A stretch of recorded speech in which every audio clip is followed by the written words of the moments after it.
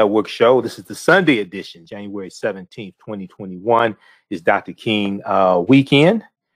And uh, you know, um, I've been airing some, re-airing some uh, broadcasts I've done uh, dealing with Dr. King on our Facebook fan page, The African History Network, The African History Network, and our YouTube channel, Michael Imhotep, I M H O T E P. So uh, we talked a little bit about that on uh, Friday's show uh, a little bit about Dr. King on Friday's show, and then also I was on Roland Martin Unfiltered on uh, Friday also. So on our uh, let's see on the show tomorrow, we'll share some excerpts of um, me on Roland Martin Unfiltered and what we discussed. But today we want to deal with um, deal with uh, some of Dr. King's legacy and dispelling myths about Dr. King, because there's so many myths and misinformation uh, about Dr. King, and you you hear a lot of it this time of the year. And you know, a lot of people mean well and things like that. Uh, but um, you know, um, I've said before, I don't go to a lot of Dr. King Day celebrations, and it's not because I don't like Dr. King. I do, but it's because uh, a lot of Dr. King Day celebrations uh, it seems that they're organized by people who never studied Dr. King. So, and I, I, I speak here and there at Dr. King Day celebrations. I don't get asked to speak at a lot of them because I deal with the revolutionary Dr. King. Okay, I don't, I don't, I don't deal with the Dr. King that they can use to pimp white corporations for guilt money. I don't deal with the I don't deal with the Dr. King that is used to make uh, white people feel comfortable with the oppression of African Americans. Okay, that's the uh, that's the distorted uh, legacy of Dr. King. All right, so we deal with the we deal with the real history and deal with the revolutionary uh, Dr. King. Okay, so we're going to talk about uh, some of that on today's show. I have uh, some uh, clips, some articles uh, to share. And then also today is the uh, birth date of another one of my heroes, the greatest of all time, Muhammad Ali. We know Dr. King's birthday is January 15th, okay, born in 1929. And then also today is the birth date of the greatest of all time, Muhammad Ali, born Cassius Marcellus Clay, okay, born in 1942. So you see me with one of my Muhammad Ali shirts on, right? And then you see Muhammad Ali behind me as well. Always have the two pictures of Muhammad Ali and Malcolm X behind me. All right, so we'll, we'll, we'll talk about this. So we'll do a Dr. King's distorted legacy. We'll deal with some myths about Dr. King, dispelling some myths about Dr. King. There's a good article from the Washington Post dealing with five myths about Dr. King. Uh, five myths about Dr. Martin Luther King Jr. This was written by uh, Donna Murch. And we talked about that some before in this show. And we'll talk a little bit about Malcolm X as well, because they're all connected. All right. And uh, I'm going to share an excerpt of a um, interview that Dr. King did in 1967. Okay. 1967 with NBC News. This is from uh, this is from uh, March uh, I think it's March 1967. I think no, uh, it has to be uh, be May 1967. Uh, May 8th, 1967, and it's called "After Civil Rights, Black Power." After Civil Rights, Black Power. Okay, so it's uh, a lot of people haven't heard this uh, interview or seen the interview, and it causes it will cause people to, I think, look at Dr. King differently and see from after the Civil Rights Act of 64 and the Voting Rights Act of 65, there was a shift in Dr. King from civil rights to human rights. So you really have to study the trajectory and chronology of Dr. King's life. And then also, we need to read books that Dr. King wrote as well, because um, Dr. King wrote five books. Okay. Dr. King wrote five books, and you know, unfortunately, um, a lot of times people don't know that, and I'm, I listen to what they say, and I'm like, uh, you talking about? Are you talking about Doctor King? Or are you talking about BB King or, or Evelyn Champagne King? Which, I mean, which king are you talking about? Okay, so uh, this is this is Dr. King's last book, and probably to me his most important book. Where do we go from here? Chaos or community? Where do we go from here? Chaos or community? All right. Uh, so you'll probably hear this referenced. Hopefully, you hear this referenced uh, a lot. You know, in the next few days. Hopefully. okay. So, all right. Now, on the African History Network show, we focus on educating, empowering, and inspiring people of African descent throughout the diaspora and around the world. Because right knowledge corrects wrong behavior. What you do for yourself, what you do to yourself, and what you allow other people to do to you and get away with is based upon what you think about yourself. What you think about yourself is based upon what you have been taught about yourself. What you've been taught about yourself is based upon everything you've read, heard, and seen about yourself. So when you control the radius of a man's thoughts, you can control the circumference of his or her actions because the mind can't do or teach what it doesn't know. Now we deal with a number of different topics here on the African History Network show. We deal with current events in history and politics, education, economic empowerment, entrepreneurship, love, sex, health issues, and much, much more. Sign up for our email newsletter. Text the word Kemet, K E M E T, to 22828. Text the word Kemet, K E M E T, to 22828 to sign up for our email newsletter. Also visit our website, AfricanHistoryNetwork.com, AfricanHistoryNetwork.com. Uh, to sign up for our email newsletter as well. Okay. Uh, if you like this type of information, you can donate to the African History Network, dollar sign the AHN show through Cash App, dollar sign the AHN show through Cash App, and then also through PayPal, paypal.me forward slash the AHN show, paypal.me forward slash the AHN show. So the donations really help out because we're here six days a week instead of one day a week for four years. We were doing Sundays, 9 p.m. to 11 p.m. Eastern Standard Time. Uh, right here on 9 10 a.m. the Superstation WFDF in Detroit.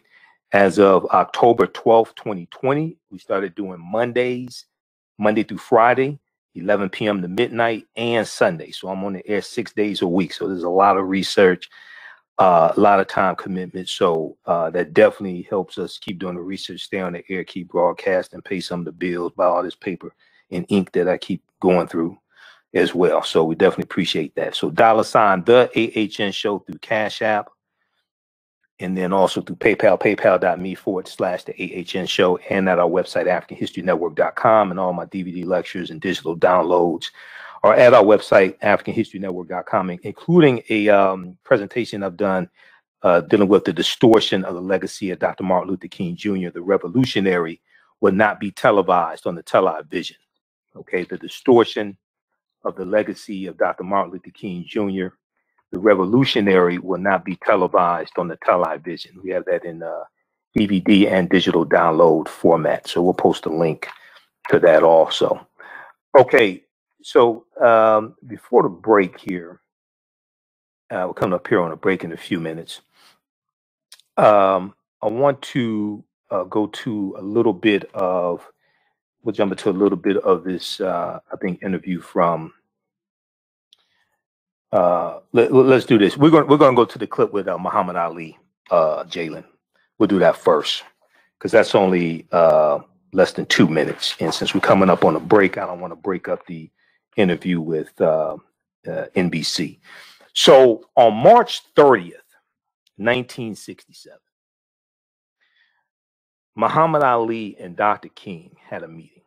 Muhammad Ali and Dr. King had a secret friendship. Okay, a lot of people don't know about this. There was a uh, article from biography.com um, that talked about the secret friendship between Muhammad Ali and Dr. King, and uh, an unexpected uh, friendship because Dr. King was a Baptist minister, Muhammad Ali was a um, uh, a minister in the Nation of Islam, and you would think, you know, what what what's what's Dr. King doing with this black Muslim? You know, what's Dr. King doing with him? All right. But they had a secret friendship. So there was a meeting that they had March 30th, 1967. And this is um this is the month before uh, Muhammad Ali refuses to be uh, drafted into the army, which is going to be April 1967. And then this is also a few days before Dr. King officially comes out against the Vietnam War, which was April 4th, 1967. Okay, let's go to this clip, Jalen. What did you discuss back in the hotel room? Nothing, just friends, just like Khrushchev and and uh, Kennedy and everybody. When the people, all of the politicians of all other white races come together, and they, although they believe different, they think different, whites can come together and discuss the common cause. But whenever a few of us come together, the world is shook up. And I say, whatever went back there is our business. Reverend King, do you agree? Oh, yes, yes. We had a very good discussion on uh, many matters. And of course, these are not things that we would discuss here, but uh, we do have common problems and common concerns. And above all, as uh, Muhammad Ali has just said, uh, we are all victims of the same system of oppression. And even though we may have different religious uh, beliefs, this does not at all bring about a difference in terms brother. of our concern. Brother. You share the same. One more question. Do you share the same concern uh, that uh, Muhammad has for his draft status? Oh, I certainly do. Uh, my my views on the draft are clear. I'm against it, and I think the sooner our country does away with the draft, the better it will be for everybody. I'm very disturbed about the militaristic posture of our nation and I think until we have a radical reordering of priorities in our country, uh, we're going more and more to the depths and I should say to the doom that follows arrogance of power, as Senator Fulbright said. Okay, yeah, pause it right there. Uh, and I'm gonna play that again. We're coming up on the break. I'm gonna play that again. But but Muhammad Ali said he talked about the differences between he and Dr. King but he said we're still brothers. At the end of the day, we're still brothers. And that's such a powerful statement. This is this is Muhammad Ali before he refuses to be drafted, okay, in, into the army, and he's going to be stripped of his title. The, the, the US government did to Ali what no man in the ring could do to him, take away his title. And then when Dr. King comes out in opposition to the Vietnam War, April 4th, 1967, overnight, overnight, he becomes the most hated man in America. All right, we're going to deal with this on the other side of the break. Calling numbers 313 778 7600. 313 778 7600 is the call in number if you have a question or comment. You listen to the African History Network show right here on 9 10 a.m. Superstation, the Future Radio on Michael Imhotep. We'll be back in a few minutes.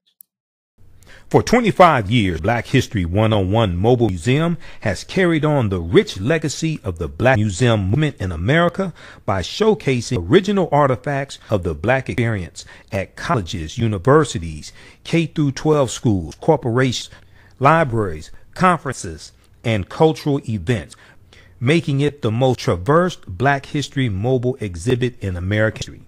The Khalid El Hakim is the founder of the Black History 101 Mobile Museum, and is a highly sought after public speaker on topics of history, social studies, education, museum studies, hip hop, and race relations.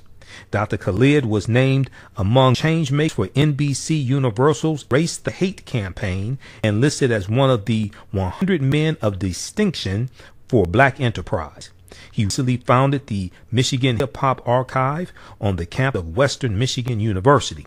The Black History 101 Mobile Museum is currently scheduling in person and virtual exhibits nationwide. For more information, please contact Dr. Khalid Al Hakim directly at 313 645 4197, 313 645 4197, or visit their website at blackhistorymobilemuseum.com. That's blackhistorymobilemuseum.com. You can also email him at bhistory101 at yahoo.com, bhistory101 at yahoo.com.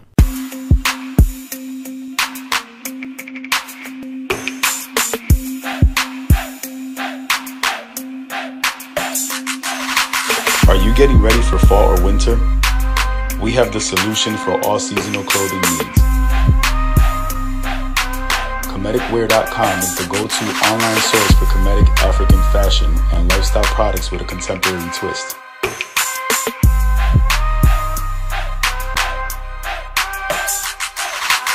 We're committed to offering unique styles reflecting African heritage.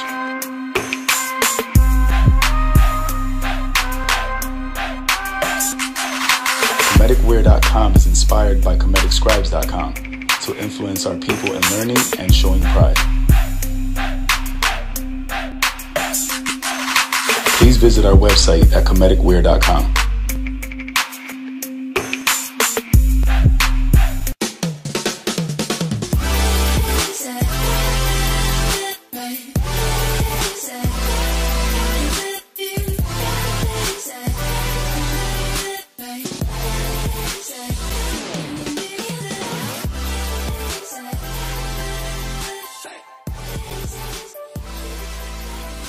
Visit 4glossygirls.com. That's the number 4glossygirls.com and follow them on Instagram at 4glossygirls.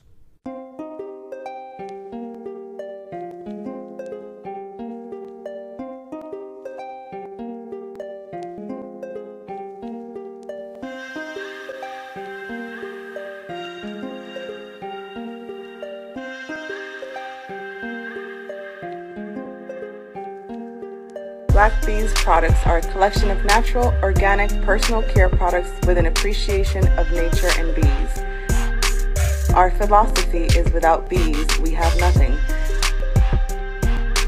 We are honoring our Nile Valley ancestors who understood the importance of bees. Black Bees created a high quality, natural, organic purse care line that would be affordable to everyone. Hope you try and enjoy our Black Bees products line and come back and visit us at blackbeesproducts.com.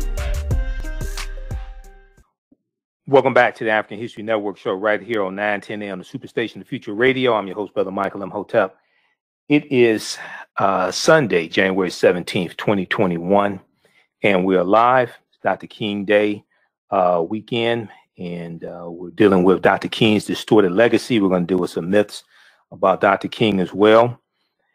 Uh, so right before the break, I shared an excerpt of this interview that Dr. King Muhammad Ali did uh, March 30th, 1967. March 30th, 1967. Uh, and this was um, one month. This was the month before Muhammad Ali came out against the Vietnam War, and this was also um, the a few days before uh, this this was the month before yeah uh, a few days before Dr. King came out against the Vietnam War, and this was the uh, month before Muhammad Ali refused to be drafted into the army as well and go fight in Vietnam. Um, I'm going to go back to this. We're going to play this one more time. Some people haven't heard this before. It's a short clip, so we're going to play this again, and then um, we're going to get into this. Um, I, I want to get to the uh, interview that Dr. King did um, May 8th, uh, 1967, also. But let's go back to this uh, uh, short interview Muhammad Ali, the greatest of all time, and Dr. Martin Luther King Jr.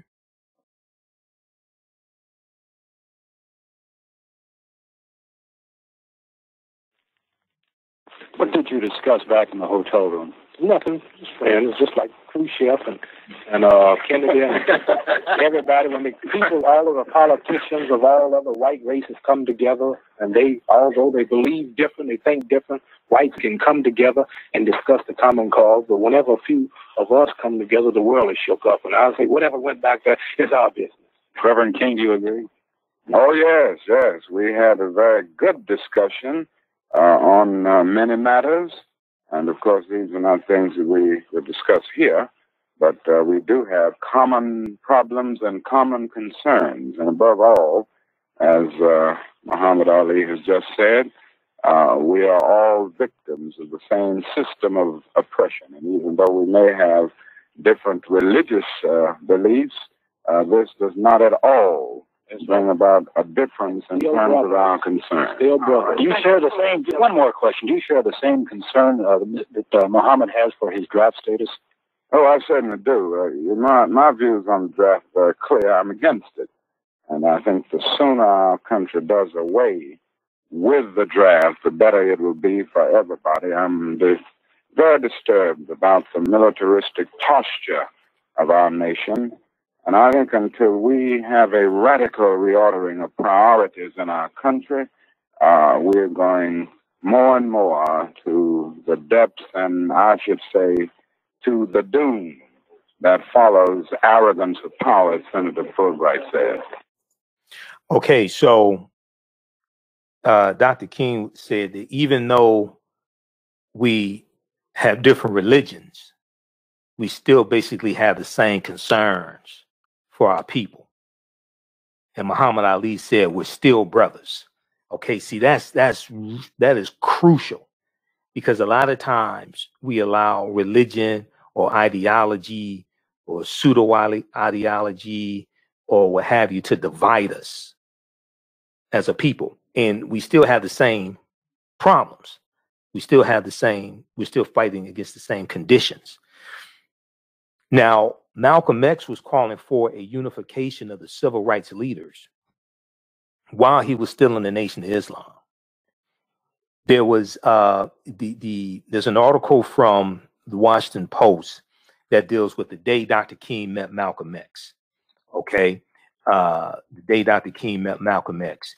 And it talks about well first of all when that, that was march 26 1964 and when dr king meets malcolm x malcolm meets malcolm x meets dr king this is at the senate uh, debate u.s senate debate for the civil rights act of 1964 okay there's a debate going on there's a filibuster taking place uh, there's an article from Deneen L. Brown, Deneen L. Brown for Washington Post. Martin Luther King Jr. met Malcolm X just once. The photo still haunts us with what was lost. The photo still ha- haunts us with what was lost. And see, a lot of people don't know Malcolm joins the civil rights movement when he officially separates from the Nation of Islam. When when when we talk about Dr. King, we have to study the chronology of Dr. King's life and what period of time you're talking about. When we talk about Malcolm, it's crucial to study the chronology, the trajectory of Malcolm's life, what period of time that you're talking about. Because a lot of people want to quote Malcolm out of context. And it's like, is this Malcolm while he's with the Nation of Islam? Is this Malcolm when he left the Nation of Islam? Is this Malcolm before he left to go to Mecca, late April 64? Is this Malcolm before he went to Mecca? So Malcolm officially separates from the Nation of Islam March 8, 1964. He meets Dr. King for the first and only, only time late March 64, but it's before he goes to Mecca. That was March 26, 1964. So when people talk about Malcolm's speech, the Ballot or the Bullet, that he gave at least three times that I know of. First time, March 29th, 1964 in Washington Heights, New York. Second time, April 3rd, 1964 in Cleveland, Ohio. Third time, April 4th, 1964 in Detroit, Michigan at the at the historic King Solomon Baptist Church. When he gives that speech, it's a few days after he meets Dr. King. He references the Senate debate on the Civil Rights Act of 1964 because he was just there witnessing it on March 26, 1964. Okay, so and then you got to study Malcolm's speeches after the Ballot of the Bullet. Because some people act like that's the only speech Malcolm ever gave, just like some people act like I Have a Dream, which was originally called Normalcy, Normalcy Never Again. I Have a Dream is not even the original name of the speech. A lot of people act like that's the only speech Dr. King ever gave. And then the speech was changed, the name of the speech was changed to a cancel check. Okay, so um, but that's a powerful interview with Dr. King and Malcolm. I mean, Dr. King Muhammad Ali. But April, uh, uh, July 31st, 1963, when Malcolm is still in the Nation of Islam, Malcolm sends a letter to the leading civil rights leaders, including Dr. King, and he's calling for a, he- he's requesting a meeting with the civil rights leaders, and he's calling for a unification of the civil rights leaders and their followers. Okay, and when and, and when uh, uh, Malcolm meets Dr. King, he tells Dr. King, "I'm throwing myself into the heart of the civil rights struggle. I'm throwing myself into the heart of the civil rights struggle." And uh, Malcolm is calling for a unification of the civil rights leaders and their followers. And he says, if John F. Kennedy can meet with Nikita Khrushchev, who was the leader of the Soviet Union at the time, he said if they can set aside their major differences and meet, then Negro leaders should be able to set aside our minor differences and and meet. And he said we have to find a common solution to a common problem posed by a common enemy. This is Malcolm while he's still in the Nation of Islam. Okay, so um, you know, uh, Dr. King. Did, so and, and Malcolm said if you could not send a uh, if you cannot attend, could you uh, send a representative? Um, so Dr. King um, did not attend and did not send a representative uh, either to that meeting. Uh, and that and that was the month before the March on Washington, which was August 28, 1963. Okay, now uh, the the interview with Dr. King and Malcolm X at this time, March 30 of 1967. See, Malcolm is already assassinated, February 21st, 1965. These two, Dr. King and Muhammad Ali, I should say, Dr. King and Muhammad Ali, these two were probably the most recognizable African American men, probably, definitely in America, probably in the world. Okay. And you're talking to both of them at the same time. There's an article from uh, biography.com, and I've talked about this before, from January 14th, 2020, uh, January 14th, 2019, and it was updated January 21st, 2020. It's called Martin Luther King Jr. and Muhammad Ali's Surprising Secret Friendship. Martin Luther King Jr. and Muhammad Ali's Surprising Secret Friendship. Okay, and their birthdays are um, close to each other as well. Dr. King's was uh, Jan- January 15th, Muhammad Ali is January 17th. But very quickly here, it, it talks about how in um, 1961, an athlete named Cassius Clay prepared for a bout with Duke uh, Sabedong in Las Vegas. The 10 round boxing match was the young boxer's seventh, but his swagger and charm had already gained him admirers. That day, the man uh, who would soon become Muhammad Ali received a telegram from an unexpected correspondent. Quote, Your youthful good humor, physical prowess, and flippant charm have made you an idol to many American young people. May God protect you and your opponent in the coming contest. It was signed Martin Luther King Jr. Now, it was an overture to an unlikely friendship, one that took place on the stormy stage of the civil rights movement, though it is uncertain how many times Dr. King and Muhammad Ali met during their lifetimes. They were friends. They were friends. But publicly, the two men could not have been more opposed, and their secret friendship was only revealed to the public through surveillance files that showed the FBI had long been following both of them. Okay, it's only revealed through uh, uh, uh, surveillance files that show the FBI had been following them. Now, there's a, there's a new documentary out, and let me know if you've seen it. There's a new documentary out dealing with uh, Dr. Martin Luther King Jr. and the FBI and the surveillance that uh, the, the, the surveillance the FBI was doing on Dr. King. Um, and I'm going to pull this up here. There was an article from uh, New York Times uh, dealing with this, and there's also one from uh, NPR, National Public Radio. Uh, MLK FBI humanizes a civil rights icon's legacy. Uh, so if you've seen that uh, documentary, give me a call. Let me know uh, what you think about it. And I have to check that out. I still have to watch. I have to watch also One Night in Miami that just became available on Amazon Prime. So that's about a, a fictitious account of a night in uh, 1964 Miami with um, uh, Malcolm X, Muhammad Ali, Jim Brown, and Sam Cooke. They meet at a hotel. We, have talked about that here before. So it's available uh, right now, on Amazon Prime. I haven't had a chance to watch it yet. I'm still trying to. I haven't had a chance to watch Ma Rainey either on Netflix. I had to watch that as well. Okay, so I'm a little. Hey, I'm I'm doing radio six days a week, doing the best I can. But uh, MLK FBI, uh, New York Times has an article about this. Uh, King Hoover and the Tale of the Tape. Sam Pollard's fascinating documentary documentary chronicles the FBI director's obsession with the private life and political affiliations of the civil rights leader, Dr. Martin Luther King Jr. Okay, so we'll we'll post this link here, and then uh, we'll probably talk uh, after uh, after I watch it. We'll talk about it some more. But the calling number is 313-778-7600, 313-778-7600 is the calling number if you have a question or comment. 313-778-7600 is the calling number if you have a question or comment. Uh, and then uh, I'm going to go to this clip here from, uh, we'll go to this clip here from NBC News, the interview with Dr. King from 1967 in just a minute here. Also, if you'd like this type of information, once again, you can donate to the African History Network.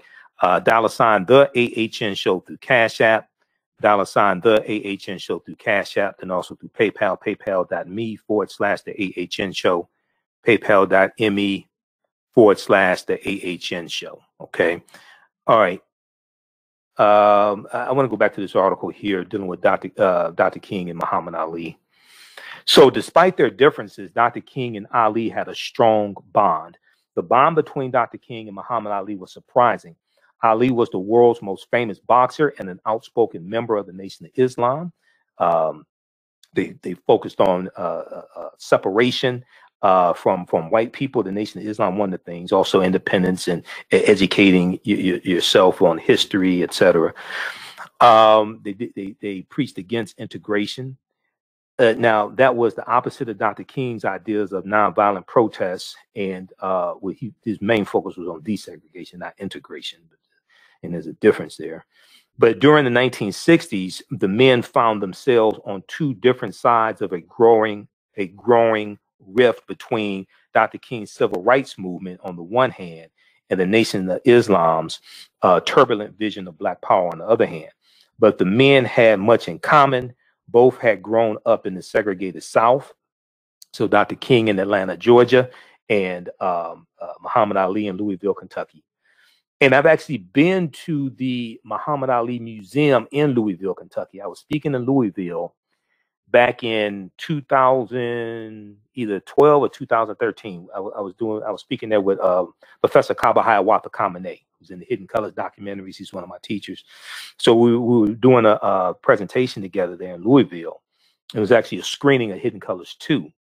Uh, uh, and we were uh, doing uh, questions and answers after the screening. And we went to the uh, Muhammad Ali Museum. Also, it's a fantastic museum there they have of Ali.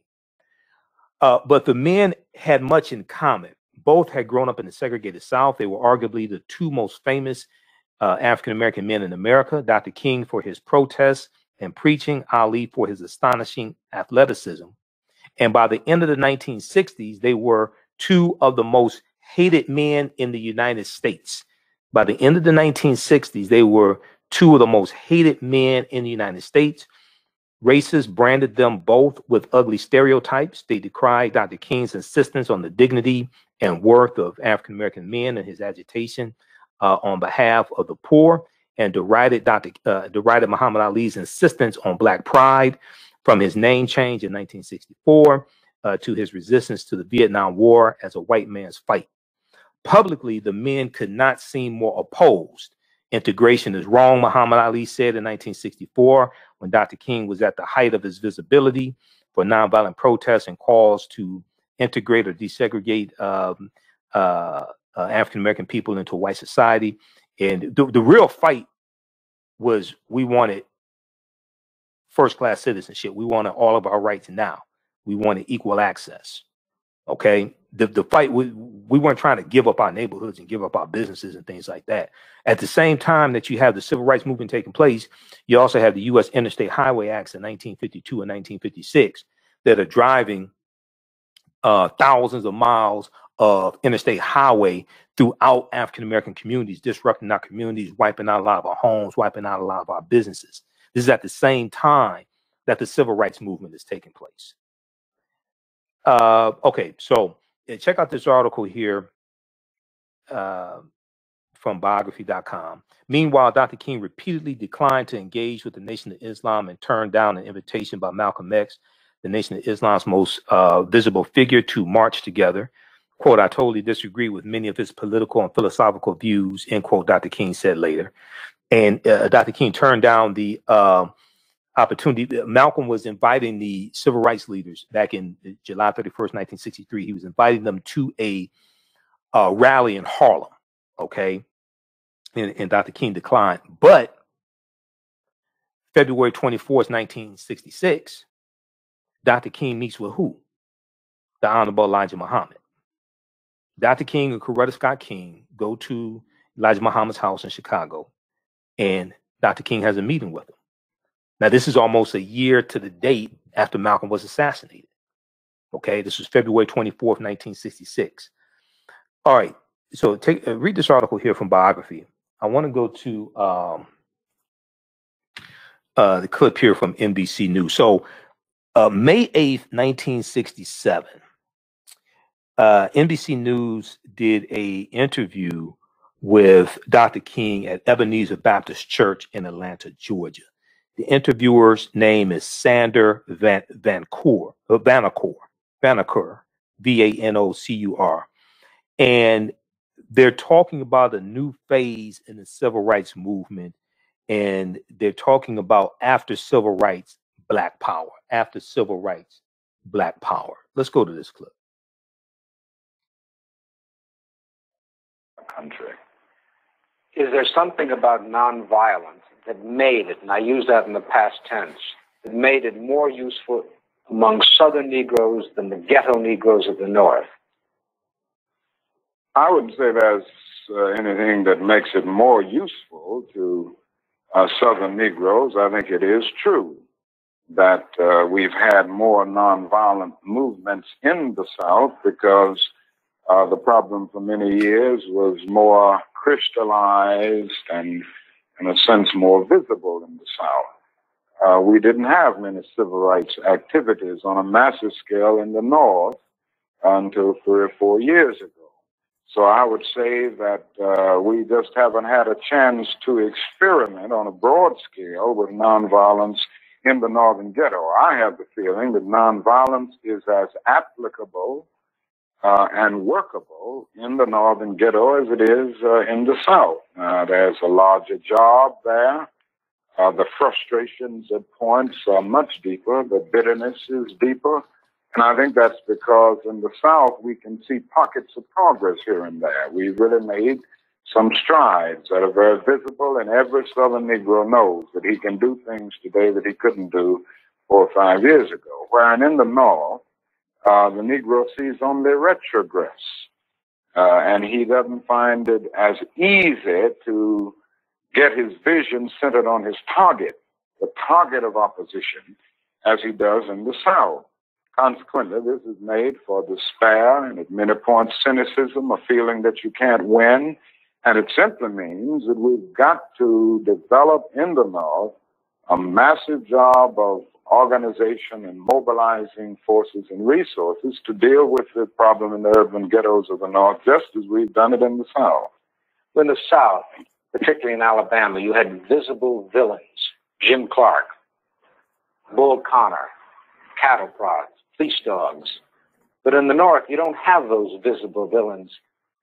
Isn't it hard to get your people aroused and directed at something that isn't visible well, that's exactly right. And this is what I was saying when I said it's harder to see a target.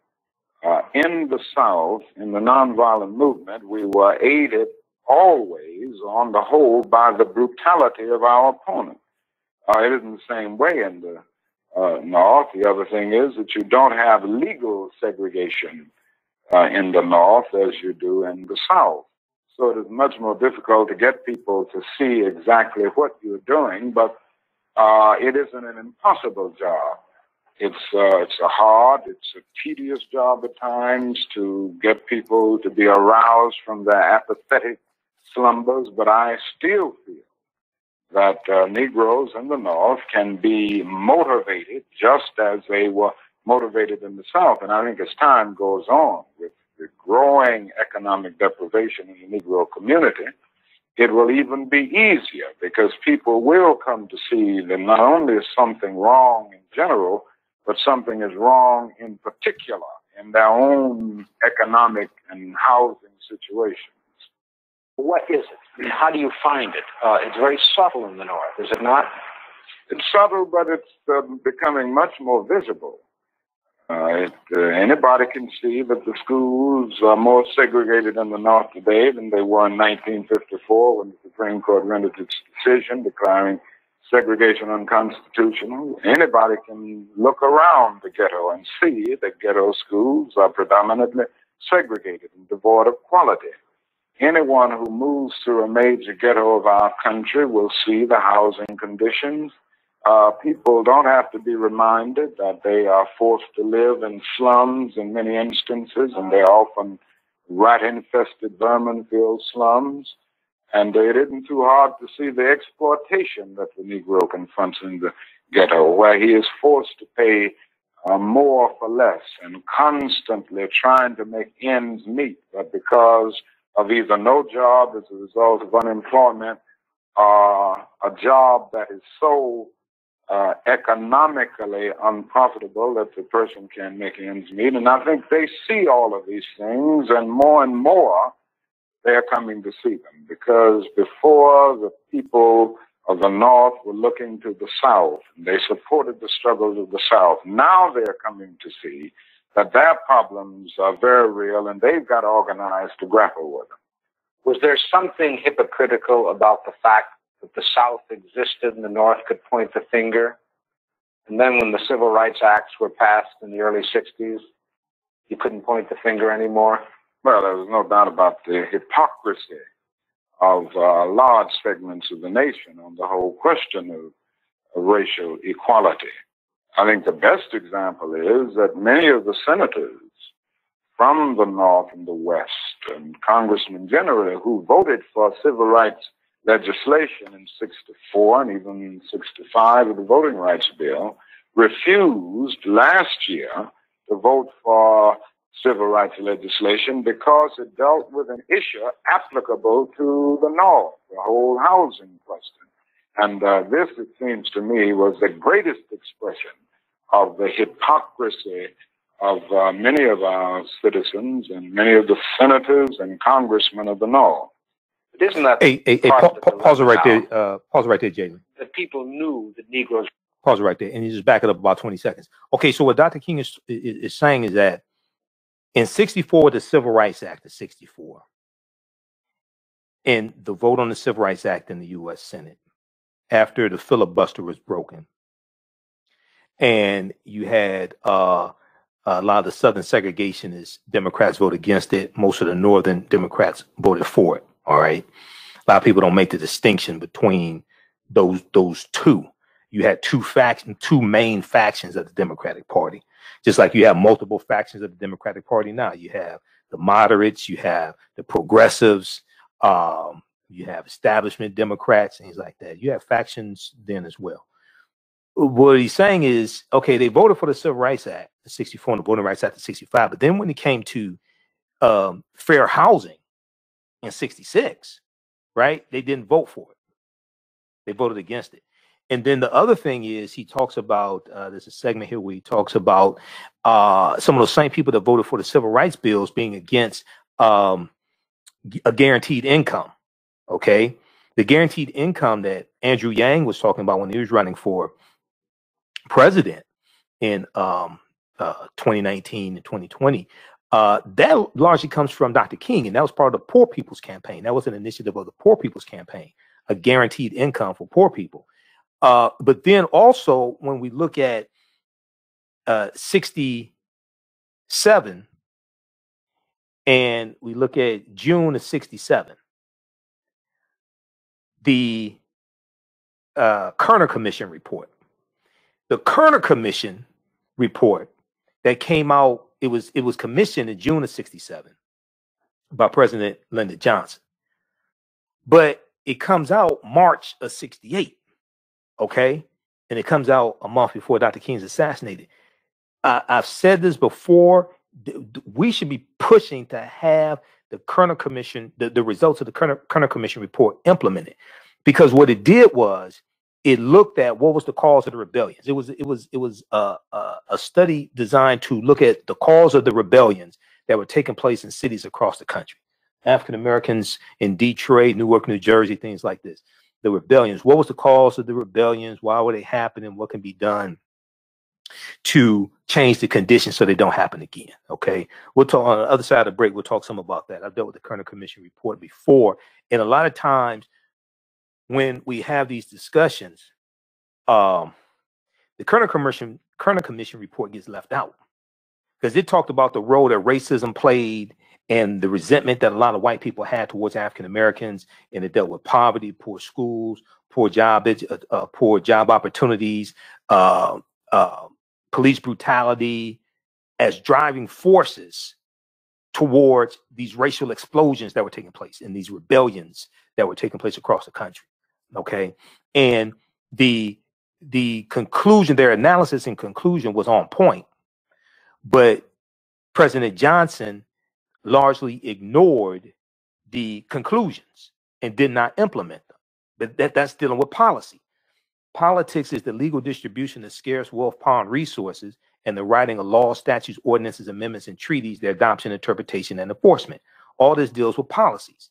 Policies bring about conditions. Okay, I'm all for economic empowerment. This stuff ain't this, all this stuff is not because of lack of economic empowerment. It's an understanding of a chronology of history and laws that have been put in place, and it was it was policies and laws put in place that that, that also work to rob us of land, rob us of economic empowerment. Okay, but the conditions are created by policies. When we deal with 246 years of slavery, we deal with the legacy of slavery, Jim Crow segregation, largely being locked out of things like the 1862 Homestead Act, which gave away almost 250 million acres of land from 1862 to 1988, being locked out of the the uh, Southern Homestead Act of 1866, which gave away about 45 million acres of land, uh, largely being locked out of the Dawes Allotment Act of 1887 and that redistributed about 138 uh, million uh, acres of land as well. To it was supposed to go largely to Native Americans and Black Indians, things like this. The Dawes Allotment Act, named after um, Senator Henry L. Dawes in Massachusetts. Two thirds of that land went to white people. That's where you get the whole five dollar Indian from. Two thirds of that land went to white people. Okay, so understanding this, understand this chronology of history, and then when you deal with things like the uh, um, the uh, uh, the overtaxation, overassessment of uh, tax liability for properties, for um, for land. Okay, this was one of the main ways that our land was taken away from us. Uh, tax assessors over assessing the tax liability or how much we have to pay in taxes for land that we own, farmland, things like this. And then when we can't pay the uh, inflated tax assessment, then we lose our land. All right. This is this is one of the tools that was used to rob us of our land. There was economic empowerment, but there were laws and policies that robbed us of that economic empowerment. And then there was also laws and policies that locked us out.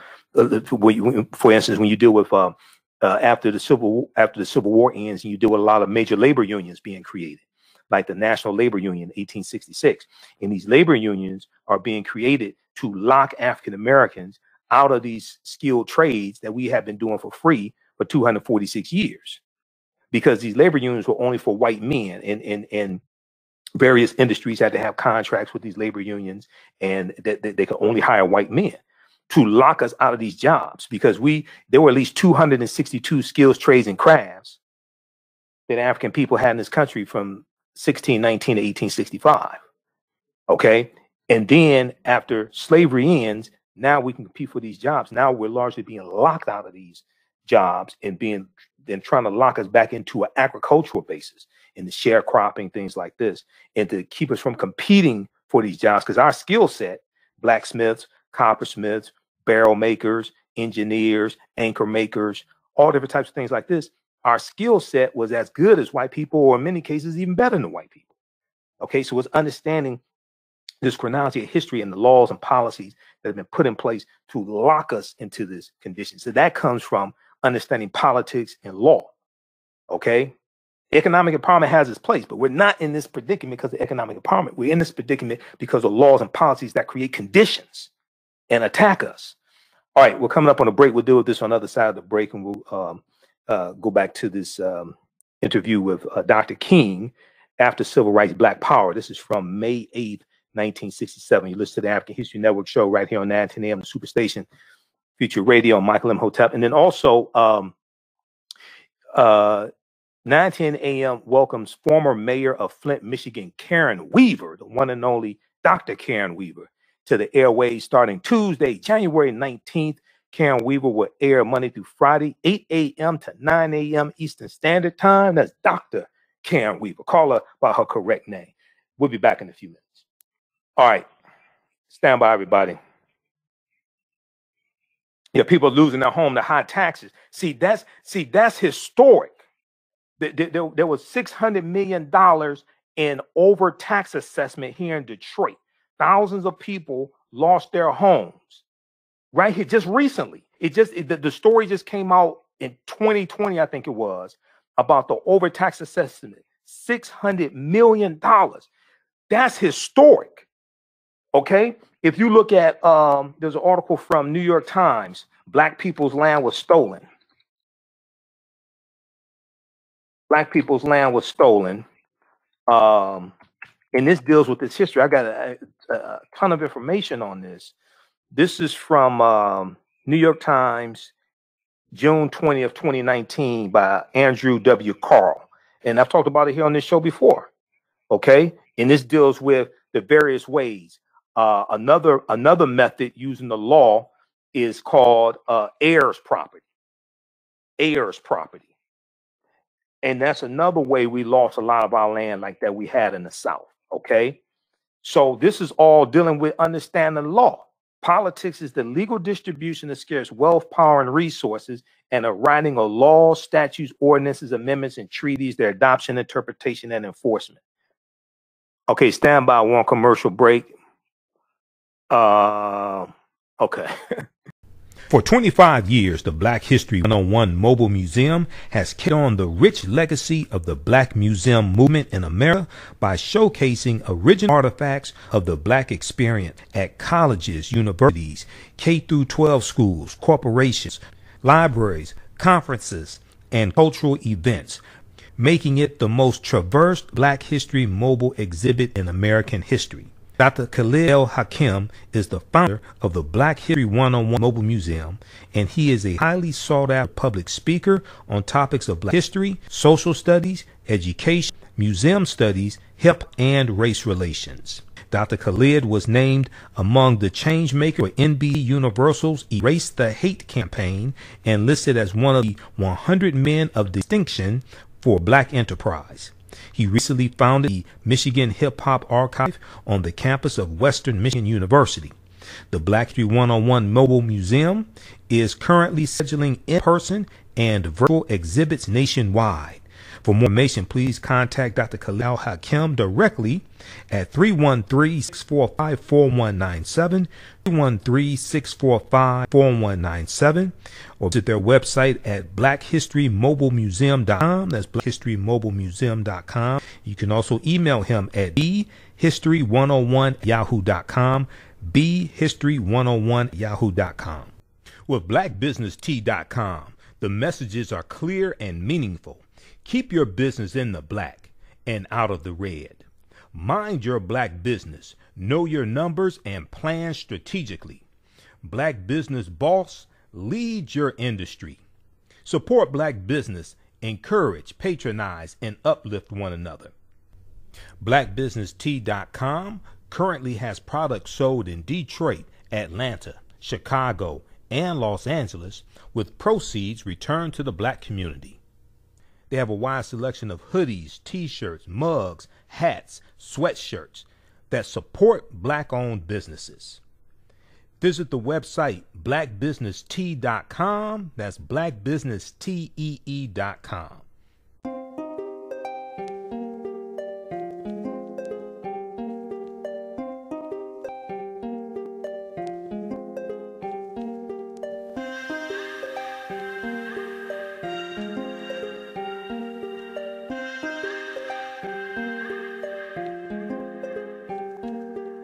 Black Bees products are a collection of natural, organic, personal care products with an appreciation of nature and bees. Our philosophy is without bees, we have nothing. We are honoring our Nile Valley ancestors who understood the importance of bees. Black Bees created a high quality, natural, organic per care line that would be affordable to everyone. Hope you try and enjoy our Black Bees products line and come back and visit us at blackbeesproducts.com.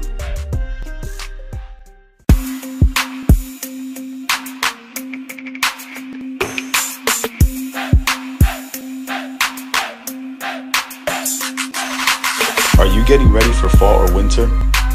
We have the solution for all seasonal clothing needs.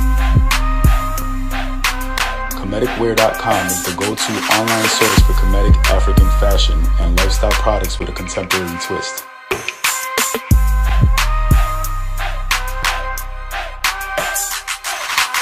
We're committed to offering unique styles reflecting our African heritage.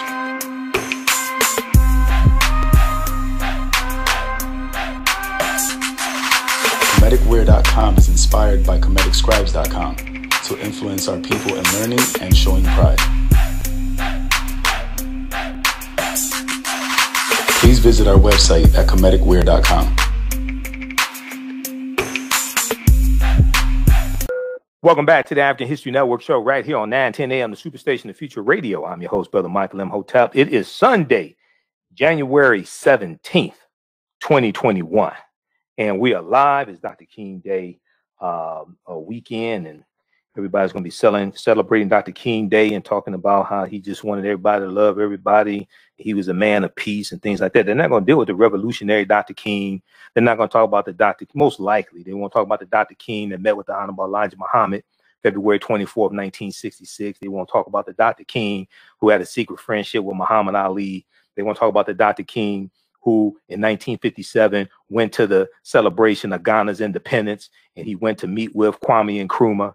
And then each year on the anniversary of Ghana's independence, he goes back to Ghana. They won't talk about the Dr. King that studied the um, um, the independence movement, the African independence movement on the continent of Africa as well, because the civil rights movement was happening concurrently with the African independence movement as well. And they were learning from one another. Okay. They're watching our uh, struggle and we're, we're watching theirs. Uh, so right before the break, I, I talked about 262 skills, trades, and crafts that African people had in this country from 1619 to 1865, and how after the Civil War ended, you have a lot of these major labor unions created. You have a American Federation of Labor created about uh, it's about right around 1875, something like that. And these are labor unions created for white people, white men, and they're designed to lock African Americans out of these jobs that we have been doing for free for 246 years.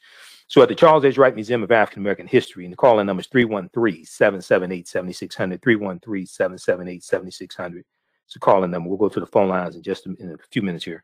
At the Charles H. Wright Museum of African American History, there's a display when you go through the main exhibit and still we rise you go through the replica of the slave ship and then you know you they have statues of different periods of time dealing with history and dealing pertaining to slavery. And you'll you'll see frederick douglass and harriet tubman things like this.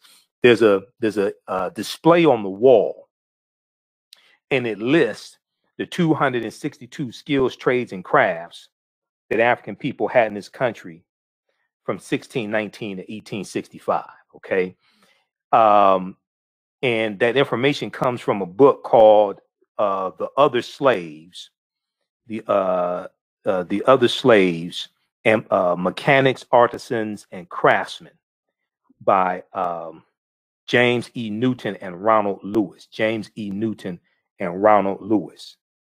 And it, that book came out in 1978 okay?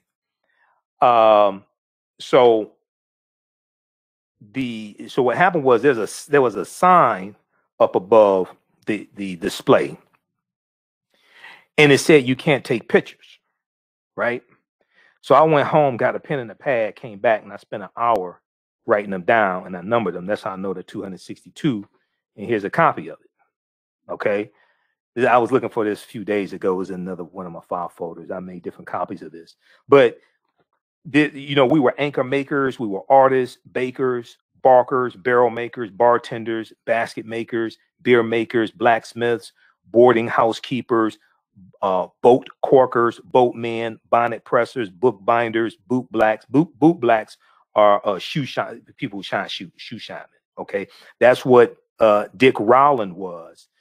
Dick Rowland, when you deal with the um, Tulsa massacre, uh, June first, uh, 1921, Tulsa, Oklahoma, Black Wall Street, and Dick Rowland and Sarah Page and there were allegations that Dick Rollins sexually assaulted Sarah Page or or assaulted her or what have you. He, he was a boot black. Okay, he was a shoe shineman.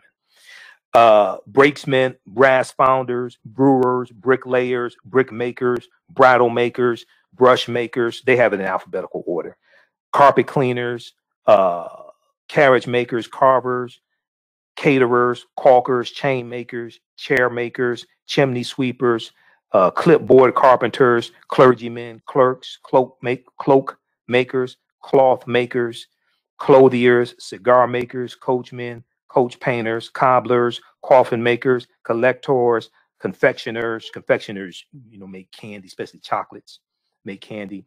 Uh, cooks, coppersmiths, uh, cotton gin makers, cotton gin makers. So the cotton gin, right around 1793 uh, Eli Whitney. Then you have copies of the cotton gin uh, as well. Cotton gin makers, um, uh, uh, cracker bakers, uh, crafts instructors, uh, daguerreotypers. The daguerreotype was the first photographic camera named after John daguerreotype, and it was the daguerreotype was uh, created in the 18 the, the late 1820s, about 1826 and then is going to be available for commercial usage in about the 1830s, the daguerreotype. Okay, uh, decorative furnishers, uh, distillers, domestics, draftsmen, dressmakers, uh, druggist assistants at like pharmacies, dyers, embroiderers, engine builders, engineers, engravers, finisher, finishers, fishermen, flower inspectors. You get the idea. So when I, I I see movies and depictions of African Americans as, as slaves and they just show us picking cotton, you know, I'm like, uh that did happen. But it's like, come on now. Okay, you trying to you trying to wool, you trying to pull the cotton over our eyes. That, no, that's not all we did. No. we built the White House, the US Capitol building. Those were skilled tradesmen. Th- those were you had enslaved African, enslaved Africans, as well as free African Americans and some white people. Uh, that going to build the U.S. Capitol building. Uh, there's a book, um, the the black man who built the White House. I think it is. I have it in the other room. Uh, but yeah, so I'm like, I, I, I, I I see, you know, this information and these reenactments, and they just show us picking picking cotton and stuff like that. I'm like, uh, all right, that's the that's the game you want to run. Uh, the black men, the uh, the black men, uh, black men built the capital. Black men built the capital. C A P I T O L, discovering African American history in and around uh, Washington D.C. And the layout of Washington D.C. was done by Benjamin Banneker, another man of African descent. Okay, and the layout of Washington D.C.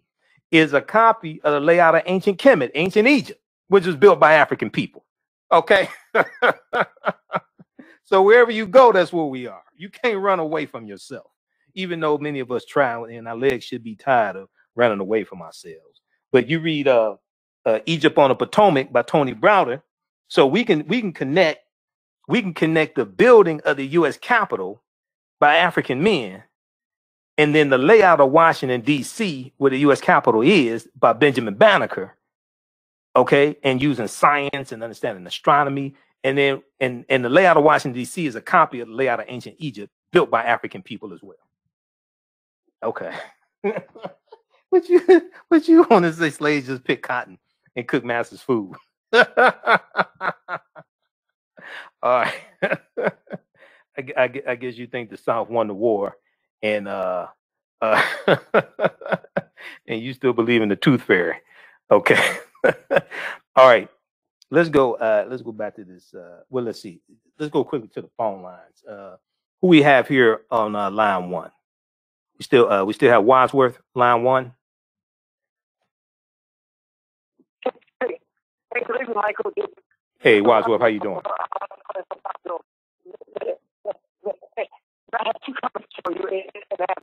for you. Okay, I think I think he has a bad connection. I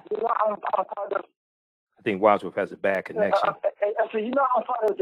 Okay, that sounds clearer. Go ahead.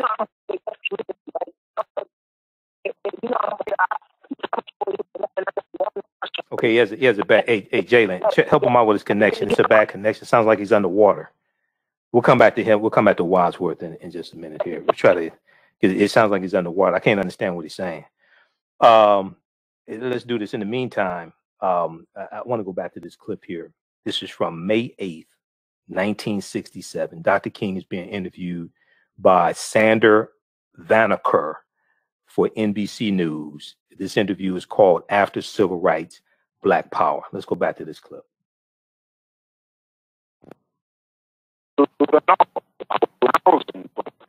And uh, this, it seems to me, was the greatest Okay, hold on. of the hypocrisy Okay, hold on, hold on, Jalen. This is uh okay. Play play it on your end. I'm gonna call back in because it's, it's it's a bad connection somewhere. I'm gonna disconnect and call back into the station, Jalen. I, I can't even understand the clip now. Something happened. Let me disconnect and I'll call right back. All right, stand by, everybody. Uh, hold on. This is live radio. We're broadcasting remotely, and something happened. The clip was playing well right before the break. I don't know. stand by. All right, Jalen, can you hear me?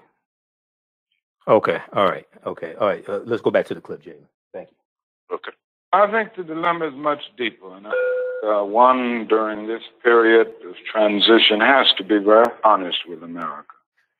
And honesty impels me to admit that America has uh, broad racist elements still alive. Racism is still uh, existing in American society in many areas of the society, North and South. And the other thing is that there has never been a single, solid, determined commitment of large segments of white Amer- America on the whole question of racial equality. Uh, I think we have to see that vacillation has always existed, ambivalence has always existed, and this to me is the so-called white backlash. It's merely a new name for an old phenomenon. I see the white backlash as a continuation of the same ambivalence and vacillation of white America and the whole question of racial justice that ex- has existed uh, since the founding of our nation. I think the other thing that uh, we must see at this time is that many of the people who supported us in Selma, in Birmingham, were really outraged about the extremist behavior toward Negroes.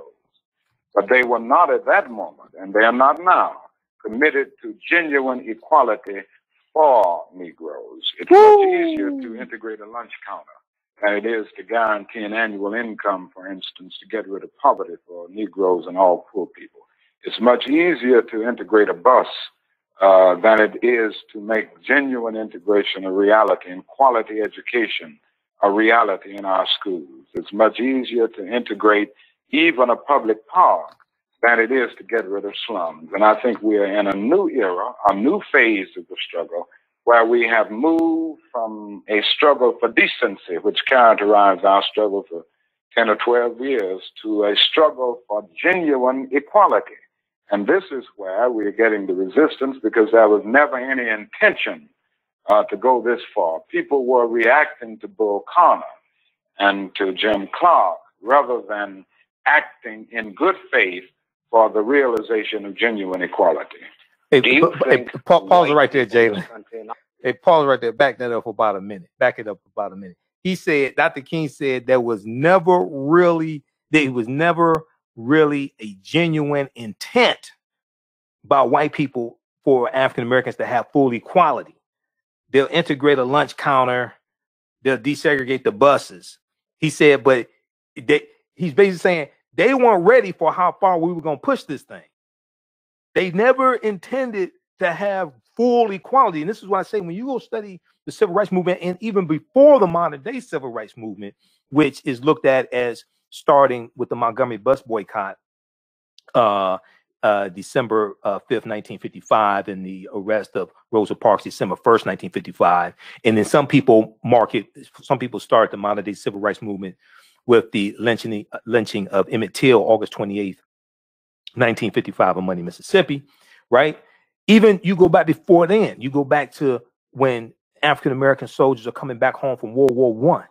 We were fighting for first class citizenship and all of our rights. Now you had what was known as the new Negro, okay? And we wanted, we, we, we were saying we're not com- coming back to Jim Crow and, and the segregation. We want all of our rights now. When when brothers came back home from World War II, like Medgar Evers, Medgar Evers was in Normandy uh, uh, on D-Day, okay? Uh, June uh, 6, 1944, I think it was, uh, uh, on D-Day. Medgar Evers, he was one of almost 2,000 African American soldiers uh, who who uh, landed there in uh, Normandy, in Normandy, France. Okay, so when Medgar Evers comes back home, he gets involved in the civil rights movement. Okay, yeah, June 6, 1944. I was correct. Uh, and, and Medgar Evers, uh, field secretary for the NAACP in, in Jackson, Mississippi, uh, organizes uh, uh, boy, uh, boycotts and things like this. But when, when these African American soldiers come back, we want all of our rights now. We want first class citizenship. Okay.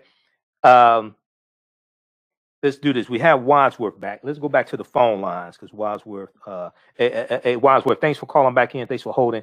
Uh, uh, tell us where you're calling from. Go ahead with your question or comment. I'm from South Michigan. Is, it, is this a good question for you? Yeah, go, yeah, go ahead. Yeah, go ahead.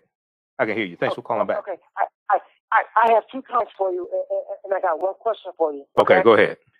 Now my comments are now my comments are uh, because you know I'm part of the, I'm part of the like the deaf media, the sign language uh, community. Yeah, and, de- and, deaf and, media sign language community. Yeah, go ahead. And, and, we had and we had to leave from we had to leave from one organization, the, the Deaf Church TV, because they were. I mean, because this network was was was uh, but when it, when it comes to news, they they, they, they, they whatever came out of Trump's mouth, they they they they, they treated it as the gospel. So we have to get away from that. Okay. So, so, so, so and, and, and, and, and we have a brother, or we have a young brother. His name is Monte. He's also on YouTube, and and this this guy is is, is, is, is like a young, it's like a young youth. I mean, he he he he is very sharp. I, I mean, if you, if you watch on YouTube, okay, this guy is like a young Michael Imhotep. Okay. And, and now my question, and now my question. What, what's it? What's his name?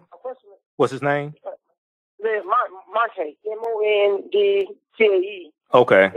He's on YouTube. Monte. He's on YouTube every, every, every week. Okay. I mean every day. Okay. You check him out. Okay. Uh, okay. And my question is, my question is this. My question is this. Now we know the Republicans. But back back in the day, the Republicans were for the were for the black people because they wanted to freed the slaves. And the Democrats wanted slave owners. And, and now today, the Democrats are like the ones who, who are helping the black people, and then the Republicans are the ones who are trying to keep us keep us down. But but there's some people that say that that today the Democrats are still like the slave owners, and the Republicans are, are still like the heroes. But I, I want to ask you, uh, has has that changed, or or, or is, it, is it still, or, or, or is it still the same? Or, or, there was a party realignment. There was a party realignment that starts with the Lily White movement in 1928, which was the effort of Republicans to get Herbert Hoover elected as president in 1928. They instituted a Southern strategy to target five former Confederate states and appeal to the uh, Southern segregationist Democrats in those five former Confederate states to get them to vote for Herbert Hoover as president. Herbert Hoover wins the 1928 presidency. He uh, and and the Lily White movement was a movement to ignore the needs and concerns of African Americans and to push us out of the Republican Party. Many people think that African Americans switched to the Democratic Party because of the Civil Rights Act of 1964 and the Voting Rights Act of 1965. That's not true. By 1960, two thirds of African Americans had already switched to the Democratic Party because you got to go back decades before that. And this and this and the shift started happening with the 1928 presidential election. And there was a rise of the Ku Klux Klan in the 1920s. Republicans are, are starting to ignore that. This is during the uh, first two decades of the Great Migration, and more African Americans are migrating from the South up north, and more of us, more of us are being able to vote also. So we start slowly going over to the Democratic Party. President uh, Franklin Roosevelt wins the 1932 presidential election. Uh, Herbert Hoover mishandles the uh, Great Depression, which is uh, precipitated by the October uh, 1929 stock market crash. Herbert uh, uh President uh, Roosevelt wins the presidential election in 32. African Americans are leery of the Democratic Party, but they are more they they find Hoover uh, they find Roosevelt to be more receptive, but also they like his wife Eleanor Roosevelt. So over the, the subsequent years, more and more, more and more of us go over to the Democratic Party because they were more receptive to our needs. The 1947 1948 presidential election, the Democrats have a pro civil rights agenda, okay, in opposition to Republicans. All right. And then today, all you got to do is look at policy. All you, we deal with policy on the show. All you have to do is look at policy at the federal, at the national level, the federal level, House Representatives, U.S. Senate. The policies of Democrats okay, in general, not every single policy, but in general, are more beneficial to African Americans than policy of Republicans. Look who look who's blocking raising the federal minimum wage from seven dollars and twenty five cents to fifteen dollars an hour. That's Republicans. That passed the House of Representatives in uh, like June or July 2019. Okay, when you deal with things like uh, the, uh, the, the George Floyd uh, Police and Justice Act, who blocked that in the Senate? Those Republicans. This passed the House of Representatives. When you go across the board, you look at environmental racism, you look at making college affordable, you look at uh, relieving uh, college debt. You all you got to do is just look at the debate over uh, coronavirus stimulus checks. Who was blocking that? Mitch McConnell didn't even want to take that up. Mitch McConnell. Oh, we got to go to break. Stand by. Listen to the African History Network show right here on 910 AM, the Superstation Future Radio on Michael Imhotep. We'll be back in a few minutes. Intuitive Design Clothing is an online accessory store that sells one of a kind signature statement pieces for men and women. They also specialize in fashion consultations, closet organization, and decorating small spaces. Are you looking for a statement piece for a special affair, or would you like to add some select pieces to your ensemble of accessories? If you're looking for something different, definitely contact Kathy Norman owner and CEO of Intuitive Design Clothing. Visit their website, intuitivedesignClothing.com. That's intuitivedesignClothing.com, and you can email her at info at intuitivedesignClothing.com. Intuitive Design Clothing is where every entrance is a grand entrance. Soul Natural Beauty Products offers organic, plant-based skin and hair care products that will rejuvenate skin and naturally grow and thicken hair. Their whipped shea butter can heal or restore damaged skin cells to prevent hyperpigmentation and skin breakouts. All products are made with organic plant-based ingredients. Their maximum hair growth oil is fortified with organic herbal extracts and undeniably proves that Mother Nature knows best. It thickens, lengthens, softens, and conditions all types of hair. They even guarantee hair improvement within 90 days or a full refund. Their all natural 24 hour deodorant leaves the body smelling fresh without sweating for up to 24 hours. It does not stain fabric, goes on smoothly, and has a refreshing lavender and frankincense aroma. It can be used by men, women, and even children. Place your order today at soulnaturalbeautyproduct.com. That's soulnaturalbeautyproducts.com and follow them on Facebook at Soul Natural Beauty Products. With blackbusinesstee.com, the messages are clear and meaningful. Keep your business in the black and out of the red. Mind your black business, know your numbers, and plan strategically. Black Business Boss, lead your industry. Support black business, encourage, patronize, and uplift one another. BlackBusinessTee.com currently has products sold in Detroit, Atlanta, Chicago, and Los Angeles with proceeds returned to the black community. They have a wide selection of hoodies, t shirts, mugs, hats, sweatshirts that support black owned businesses. Visit the website blackbusinesstee.com. That's blackbusinesstee.com. Do you have an idea or business that requires app development or thinking of moving your IT resources to the cloud? We have post-paid and profit-sharing plans for unique ideas or profitable businesses. Who can take advantage of this unique program? Entrepreneurs with unique ideas, startups, small to medium businesses. Contact us 267 209 0352. Visit nomadicsystems.net, nomadicsystems.net today. For 25 years, Black History 101 Mobile Museum has carried on the rich legacy of the Black Museum movement in America by showcasing original artifacts the Black experience at colleges, universities, K-12 schools, corporations, libraries, conferences, and cultural events, making it the most traversed Black History mobile exhibit in American history.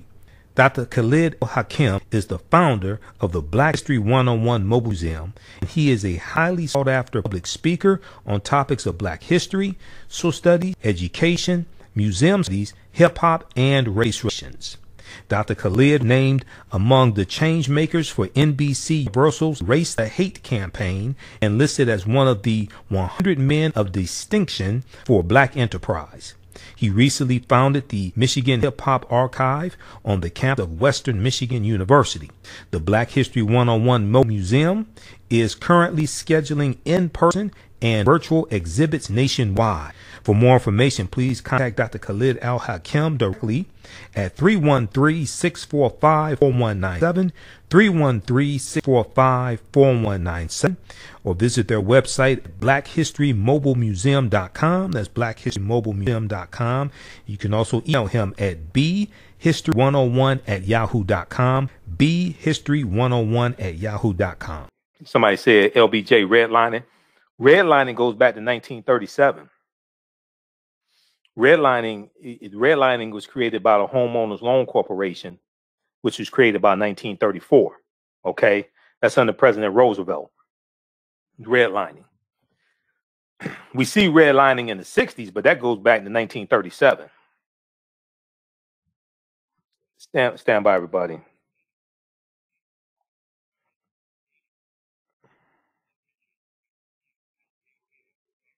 All right, we're coming back for the last segment. We got to wrap this up. Okay, African American business owners, um, post name your business here on the thread of the broadcast. We'll let you know how you can advertise with the African History Network. Email us at customer service at AfricanHistoryNetwork.com, customer service at AfricanHistoryNetwork.com. Stand by. We're on, we're on commercial break. We'll be back in a couple minutes.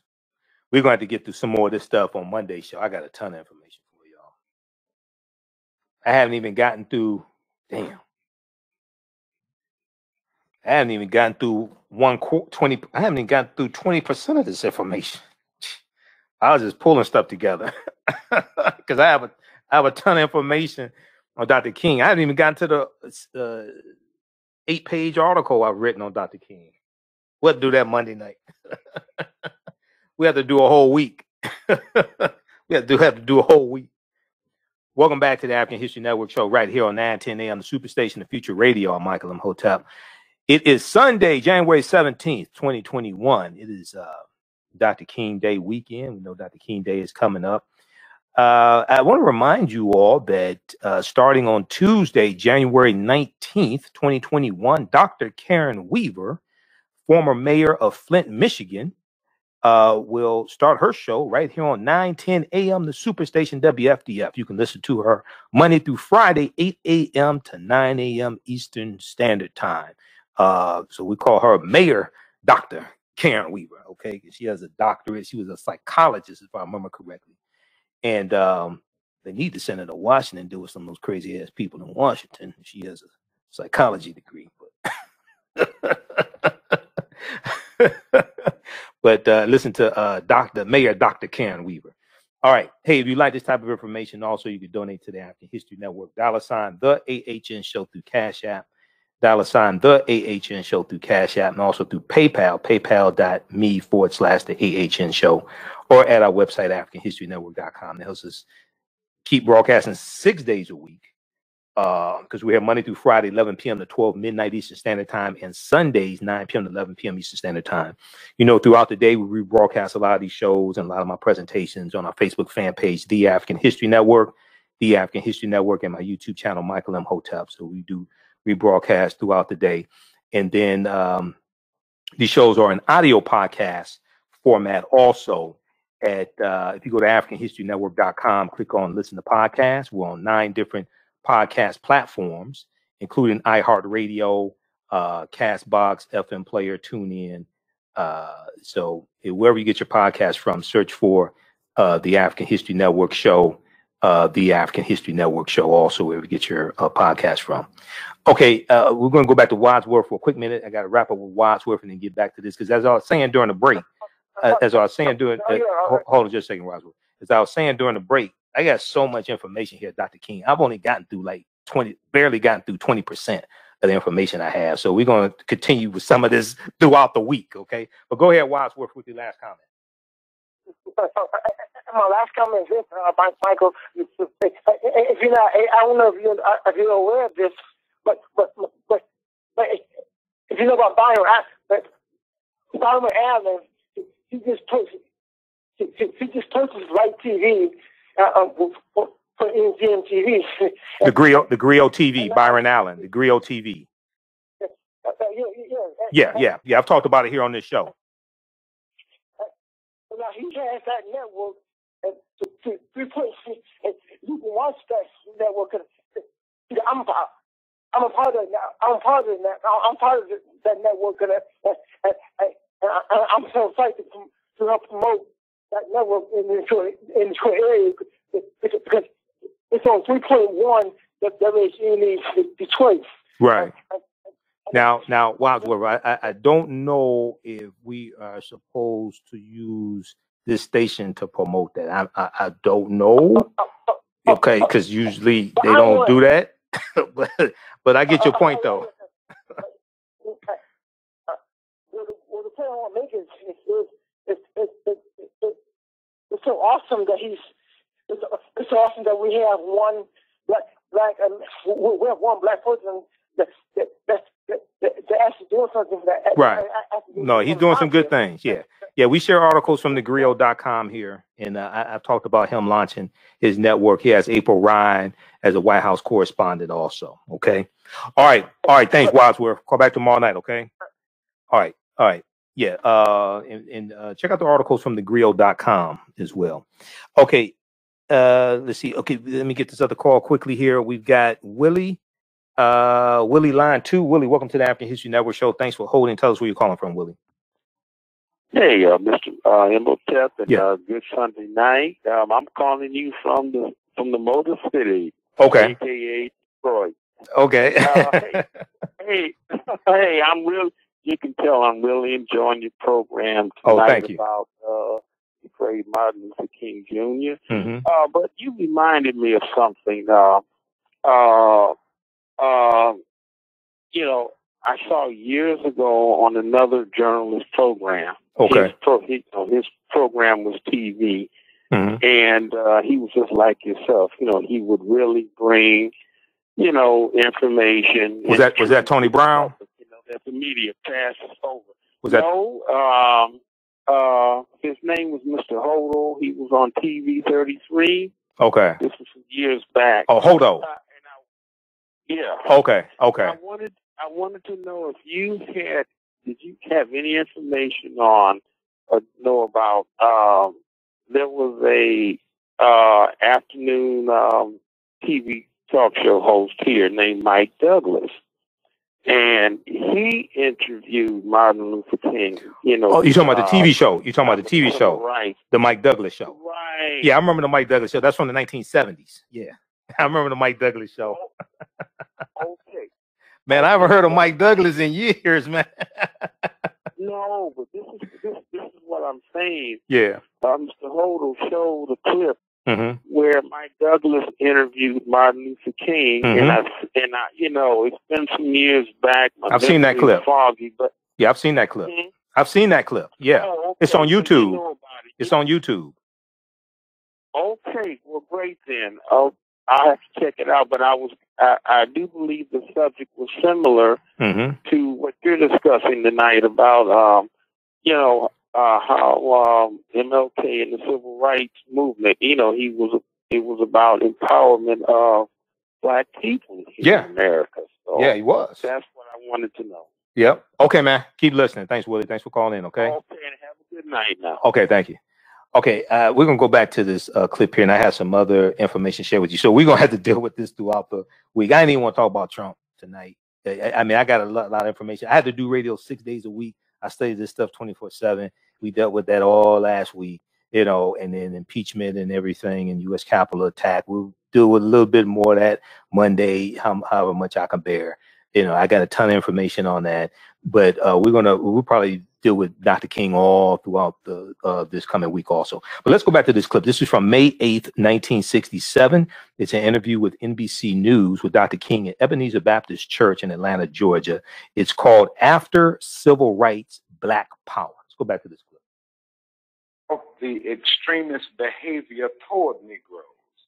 But they were not at that moment, and they are not now, committed to genuine equality for Negroes. It's much easier to integrate a lunch counter than it is to guarantee an annual income, for instance, to get rid of poverty for Negroes and all poor people. It's much easier to integrate a bus uh, than it is to make genuine integration a reality and quality education a reality in our schools. It's much easier to integrate even a public park than it is to get rid of slums. And I think we are in a new era, a new phase of the struggle, where we have moved from a struggle for decency, which characterized our struggle for 10 or 12 years, to a struggle for genuine equality. And this is where we're getting the resistance because there was never any intention uh, to go this far. People were reacting to Bull Connor and to Jim Clark rather than acting in good faith for the realization of genuine equality.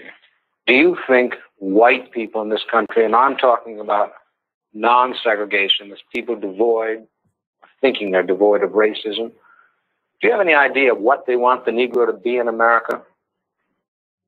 Well, it depends on the level that we are talking here, uh, because I think you have to make a distinction between the people who are genuinely and absolutely committed in the white community on the question of, of racial equality. And I must confess that I think they're in a very small minority.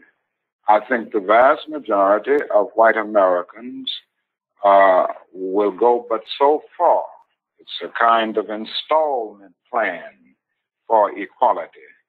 And uh, they are always looking for an excuse uh, to go but so far. Why are they looking for the excuse? What is it about the Negro? I mean, every other group that came as an immigrant somehow, not easily, but somehow got around it. Is it just the fact that Negroes are black? That's a part of it. And growing, that grows out of something else. You can't thingify anything without depersonalizing that something. If you use something as a means to an end, at that moment you make it a thing and you depersonalize it. The fact is that the Negro was a slave in this country for 244 years. That act, uh, that was uh, a willful thing that was done. The Negro was brought here and changed, treated in very inhuman fashion. And this led to the thingification of the Negro. So he was not looked upon as a person. He was not looked upon as a human being with the same uh, status and worth as other human beings. And the other thing is that human beings cannot continue to do wrong without eventually uh, rationalizing that wrong. So Mhm. slavery was justified morally, biologically, uh, theoretically, scientifically, everything else. And it seems to me that white America must see that no other ethnic group has been a slave on American soil. Uh, that is one thing that other immigrant groups haven't had to face. The other thing is that the color became a stigma. American society made the Negro's color a stigma. And uh, that can never be uh, overlooked. So I think these things are absolutely necessary. The other thing is that America freed the slaves in 19, I mean 1863 through the Emancipation Proclamation of Abraham Lincoln, but gave the slaves no land or nothing in reality, and as a matter of fact, to, to get started on. At the same time, America was giving away millions of acres of land in the West and the Midwest, which meant that there was a willingness to give the white peasants from Europe an economic base. And yet it refused to give its black peasants from Africa who came here involuntarily in chains and had worked free for 244 years any kind of economic base. And so emancipation for the Negro was really freedom to hunger. It was freedom uh, to the winds and rains of heaven. It was freedom without food to eat or land to cultivate, and therefore it was freedom and famine at the same time. And when white Americans tell the Negro to lift himself by his own bootstraps, they don't they don't look over the legacy of slavery and segregation. I believe we ought to do all we can and seek to lift ourselves by our own bootstraps. But uh, it's a cruel jest to say to a bootless man that he ought to lift himself by his own bootstraps. And many Negroes, by the thousands and millions, have been left bootless as a result of all of these years of oppression and as a result of a society that deliberately made his color a stigma and something worthless and degrading. apart from wanting to live better, which all of us want to do, to raise one's children in a better way, to be better, does the Negro in America know what he wants to be? I'm convinced that uh, almost every Negro in this country, other than those who have been so scarred by the system that they've become pathological in the process, and we all have to battle with pathology, and nobody really knows what it means uh, to be a Negro unless one can really experience it. And I know we all have to battle with this constant drain of uh, a feeling of nobodiness. But in spite of this, uh, I think the vast majority of Negroes in this country know that they want to be people, they want to be men, they want equality, period. It just boils down to that. And we haven't been able to be people. We haven't been men because of all of the uh, conditions that we've lived with and the syndrome of deprivation surrounding conditions, whether it's in housing, or in the economic area, or in schools, or in the vicious credit practices that we face in the ghetto, and all of the problems of closed doors and constant defeats. But uh, in spite of all this, I think we all know uh, basically that we want to be men. We want to be persons judged not on the basis of the color of our skin, but on the basis of the content of our character. Did you know Hey, that hey, many pa- pa- pause it right there. Pause it right there, Jalen. Pause it right there. All right. So that is from uh, NBC News. That is uh, called After Civil Rights Black Power. That's from May 8th, 1967. May 8th, 1967. It is on um, NBC's website. Um, it's on NBC News website and it's on their YouTube channel uh, also. Okay. So we'll post this link here. We'll share some more of that uh, on tomorrow's show. Uh, I, I want to go to this other clip. We're going to go to uh, Dr. King's speech on economic justice, Jalen. Just a second. Um, so one of the things Dr. King was talking about in that interview and other interviews and speeches is how even white people who supported the civil rights movement in 64 and 65 and they were uh they're, they they they they felt horrible about uh uh bloody sunday okay? March 7th 1965 and the attack on john lewis and and civil rights leaders and they were horrified by uh bull connor in uh, birmingham alabama things like this and the dogs and the water hoses. They were horrified by that. So they supported the Civil Rights Act of 64 and the Voting Rights Act of 65. But then when it comes to economic issues, now that's where they draw the line, many of them. That's where they draw the line. And Dr. King was saying they're not they're not committed to what it is in full that we want. Um, I talked about the Kerner Commission report, which is extremely, extremely important. You can tie the Kerner Commission report into the report that came out about September 2020 from Citibank that dealt with how the US economy had lost $16 trillion in 20 years from the year 2000 to the year 2020 because of racism and African Americans being uh, uh, locked out of uh, because of racism, less African Americans being able to attain a college degree, buy a home, or get a bank loan to start a business, and the impact the negative impact it had on the overall economy. And it also showed the impact that racism has on white people who think that racism, many of them think that it benefits them because racism is a system of advantage and privilege distributed based upon race. Racism is a system of advantage and privilege distributed based upon race, and racism occurs when one race of people control the majority of the wealth, power, resources, benefits, privileges, land access to education, access to opportunity, etc. And they use that to marginalize, subordinate, and do harm to another race of people. So uh, we, you know, it's a whole presentation I've done dealing with um, um, how racism has cost the U.S. economy $16 trillion in 20 years, and we air that on the African History Network periodically. Um, so if we look at the Kerner Commission report, blackpast.org, B-L, uh, P-A-S-T, blackpast.org, has a article, 1967 National Advisory Commission on Civil Disorders. And very quickly, we'll talk about this uh, throughout the week also.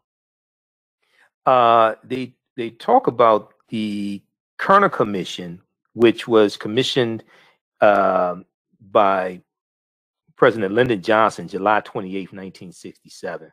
It was actually the day after the Detroit Rebellion of 67 ended. And the Kerner Commission was designed to um, answer three questions. It was, uh, they wanted to look at uh, what caused the, uh, the three questions were what happened, why did it happen, and what can be done to prevent racial disturbance in the future.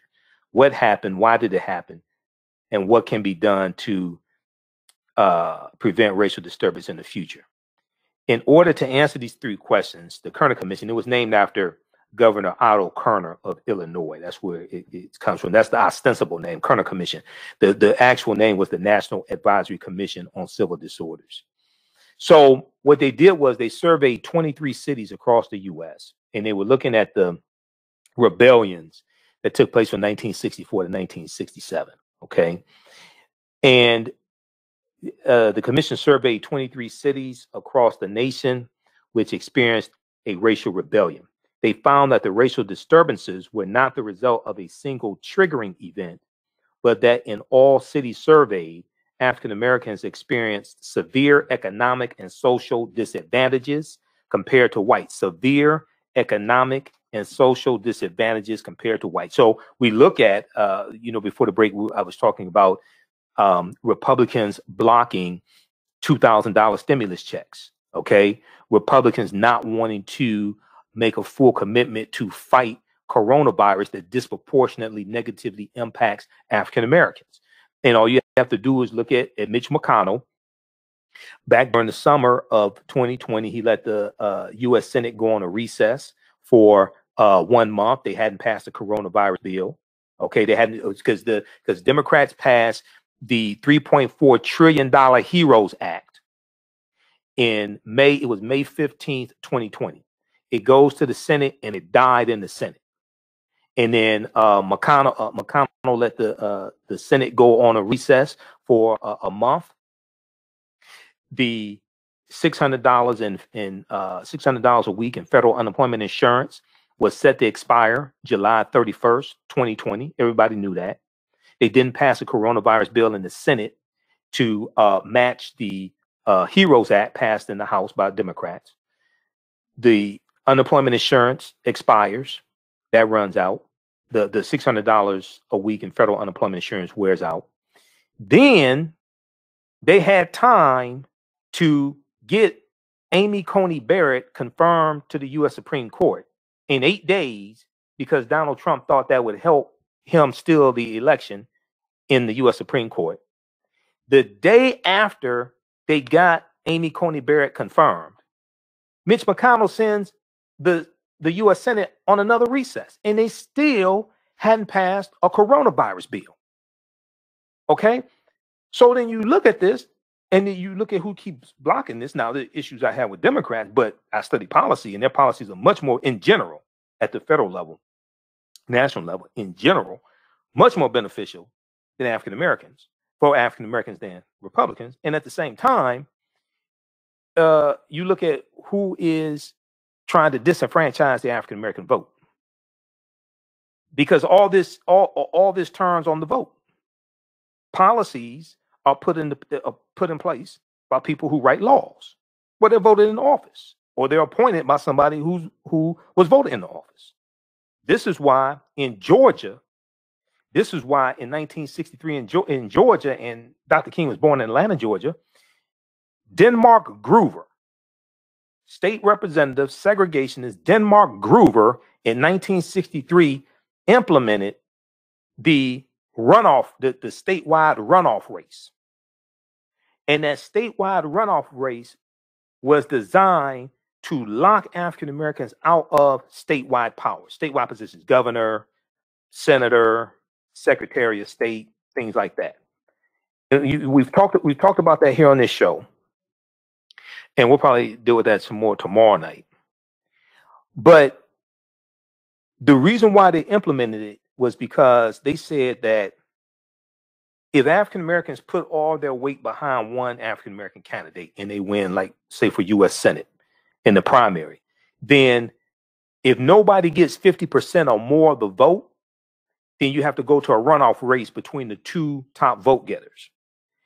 So if if eh, if African Americans put all their weight behind one African American candidate in the primaries, and that and that African American candidate wins, and you have multiple white people running in the primaries, and they split the white vote, they gave white people the opportunity to have a do-over in the runoff race, and then all white people, regardless of political affiliation, Republican, Democrat, Independent, whatever, could all vote for that one white candidate to defeat the African American candidate because they have a numerical majority. White people in Georgia have a numerical majority. This is why it was put in place. So Reverend Raphael Warnock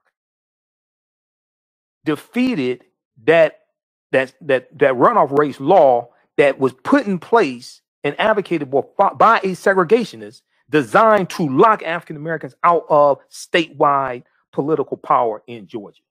And not only that, Reverend Raphael Warnock beat Senator Kelly Loeffler twice because he got 32% of the vote in the primary. He got he got a higher percentage than she did in the primary, and he beat her again in the general election. So what Reverend Raphael Warnock did with the help of Stacey Abrams and, and LaTosha Brown and all the activists and things like that, that was not supposed to happen. This is one of the reasons why those white supremacist domestic terrorists on January 6th, this is one of the reasons why they were so upset. It wasn't just the presidential election, it's what went down in Georgia. African Americans rose up, and Georgia is a former Confederate state. And, and, and, and, and, white people in Georgia took up arms to fight against the Union to maintain slavery. That wasn't supposed to happen. But it did. Okay. Uh, I want to go to this last clip here. This is Dr. King. This is 1968. Uh, Dr. King in 1968 uh, spoke at a church in Mississippi. Now, remember, February 24th, 1966, he meets with Honorable Elijah Muhammad. But in this speech here at the church in Mississippi, he puts the fight for land and the need for land front and center. Let's go to this clip, Jalen.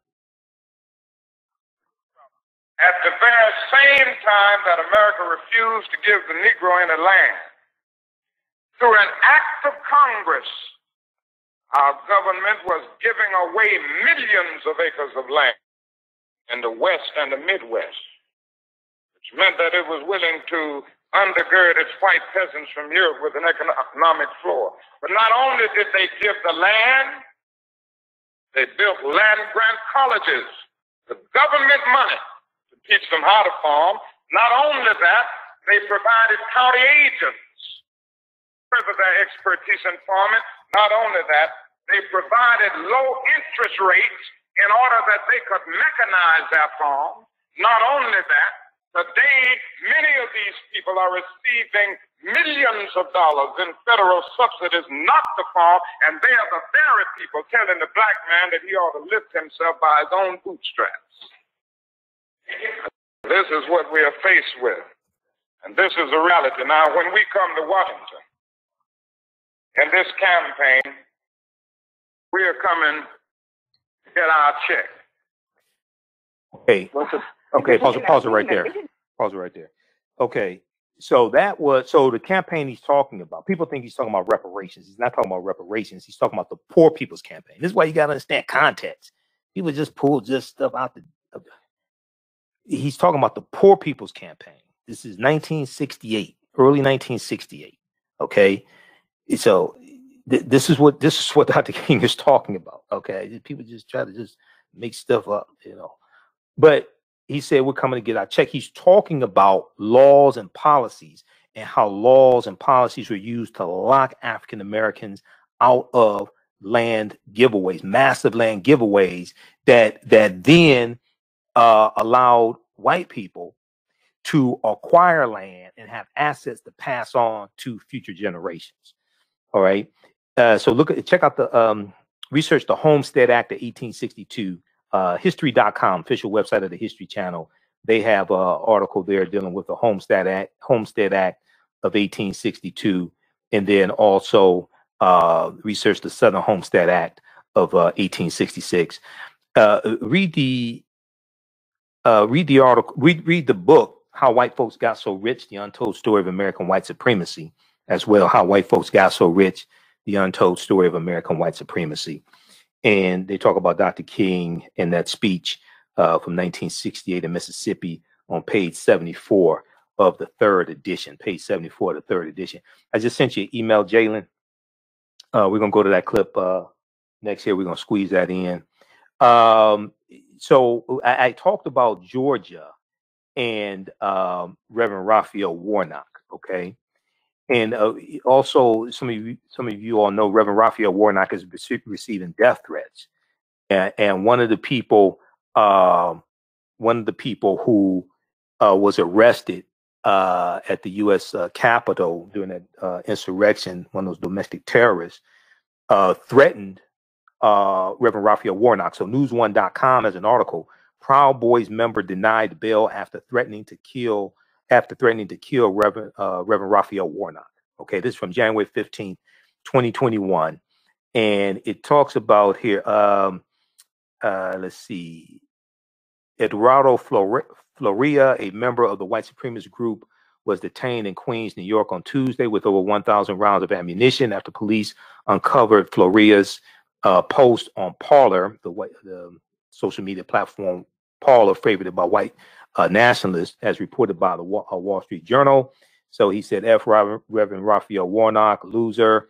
Uh, Florea responded to another user on the site under the name of, uh, okay, long, uh, did, uh, okay, so they made some type of threat to him. Um, though authorities do not believe Florea attended the riot on January 6th, his intentions were made clear through his Parler uh, post. Now, they also mentioned this other idiot, uh, Jacob Anthony Chansley, and uh, he's asking for a pardon. Um, prosecutors allege his own quote words and actions at the Capitol supports that the intent of the Capitol rioters was to capture and assassinate elected officials in the United States government, end quote, according to the Hill. We know uh, the lead uh, prosecutor has backed away from that uh, definitive statement at this point, but it, you know we've listened to them chanting uh, "Hang Mike Pence" also. Uh, Chansley also reportedly left a note for Vice President Mike Pence in the Senate chamber that read, "It's only a matter of time. Justice is coming." etc. So, so read this. So they talk about the Proud Boys uh, threatening the life of um, Reverend. Uh, so the news follows the striking details that a member of the Proud Boys was arrested and denied uh, after police discovered posts on Parler threatening the life of Reverend Raphael Warnock, uh, the new uh, senator there in Georgia. Okay, uh, let's see. Uh, let's squeeze in this clip here. This is from. Uh, this is only a couple minutes here. This is from uh, 11alive.com uh, in Georgia. Runoffs arose to limit power of black voters in Georgia, much of South. Okay, let's go to this clip.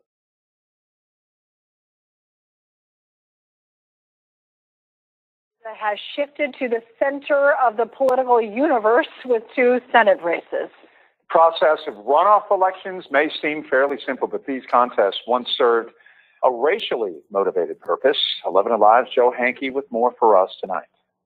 While many Georgia voters may be familiar with runoff elections, they may not be familiar with the history of runoffs in Georgia and across the South. At the Georgia state capitol in the 1960s, a state representative named Denmark Groover led a charge for runoff elections.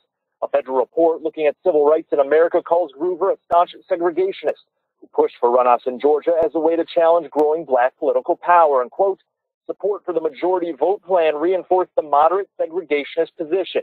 It did not remove anyone's right to cast a ballot, but it was commonly regarded as hampering African Americans to stigmatize block voters. While still allowing black voters to cast a ballot, runoffs at the time made sure candidates representing the white majority, not the interests of black citizens, would be elected. They don't function precisely that way anymore, uh, but one has to wonder what, what function they do have. Cal Jillson is a political science professor at Southern Methodist University in Dallas, Texas. He says runoffs are linked to elections in the South, requiring a candidate to have more than 50% or a majority of votes cast to win an election. Runoff uh, is an opportunity uh, for the white majority to come together uh, and uh, beat back a challenge from a black candidate. Frequently, as you know, when lawmakers such as Groover wrote and passed laws requiring runoffs, they did not hide their intentions. Before anyone was politically correct, people spoke very directly about their sense of race and the importance of maintaining white supremacy. And that's what these electoral rules were intended to do. Currently, Georgia is only one of 10 states, primarily in the South, using runoffs and primaries. Only Georgia and Louisiana use them for general elections. Jillson views runoffs as outdated election law. There's less and less reason and really fewer and fewer states as time time goes by that use runoffs. All right, all right. So that's from uh, 11 Alive um, in uh, Georgia. Check out the article Runoffs Arose to Limit Power of Black Voters in Georgia. Much of South experts say. That's from November 9th, 2020 uh, at 11alive.com. All right. Hey, um, we have the lecture that I did uh, the distortion of the legacy of Dr. Martin Luther King Jr., the revolutionary, will not be televised on the television. We just posted the link here. It's about a two hour presentation. We have it on digital download and uh, DVD. And it's available at our website, AfricanHistoryNetwork.com, AfricanHistoryNetwork.com.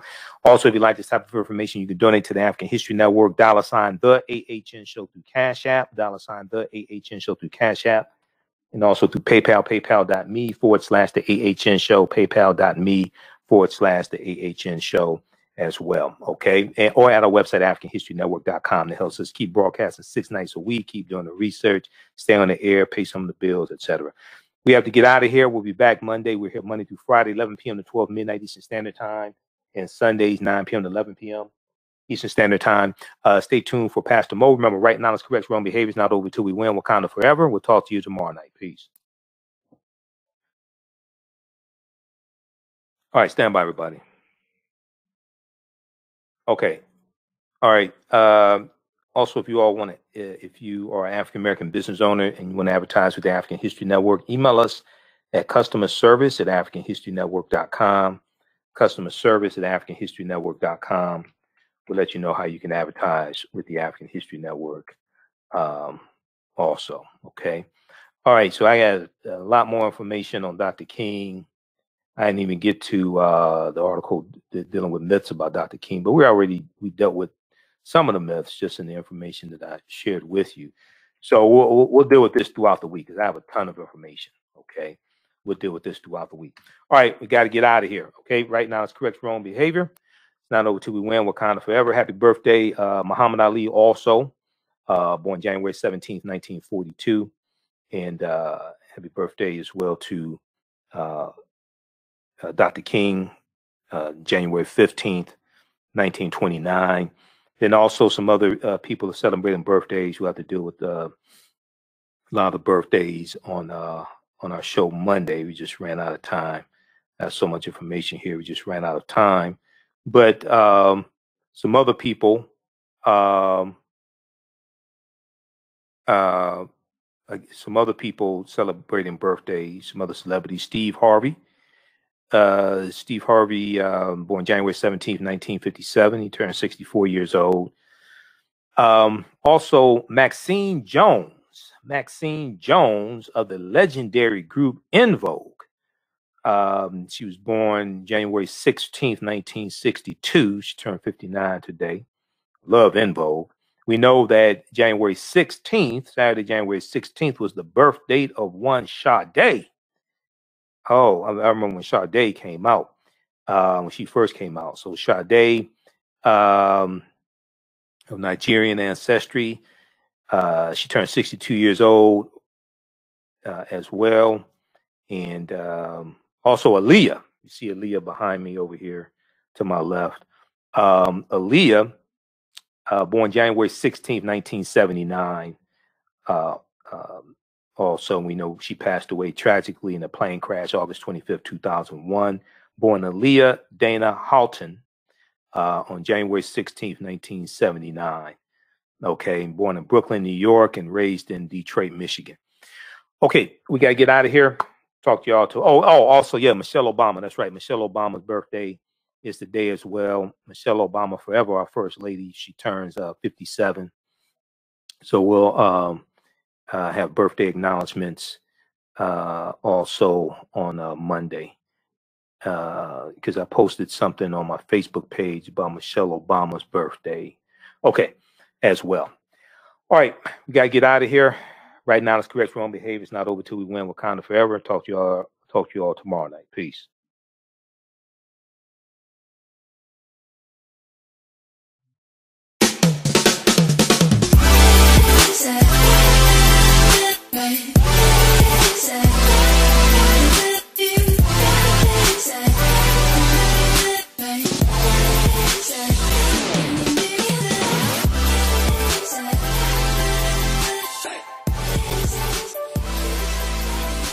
Visit 4glossygirls.com. That's the number 4glossygirls.com and follow them on Instagram at 4glossygirls. Do you have an idea or business that requires app development or thinking of moving your IT resources to the cloud? We have postpaid and profit sharing plans for unique ideas or profitable businesses. Who can take advantage of this unique program? Entrepreneurs with unique ideas, startups, small to medium businesses.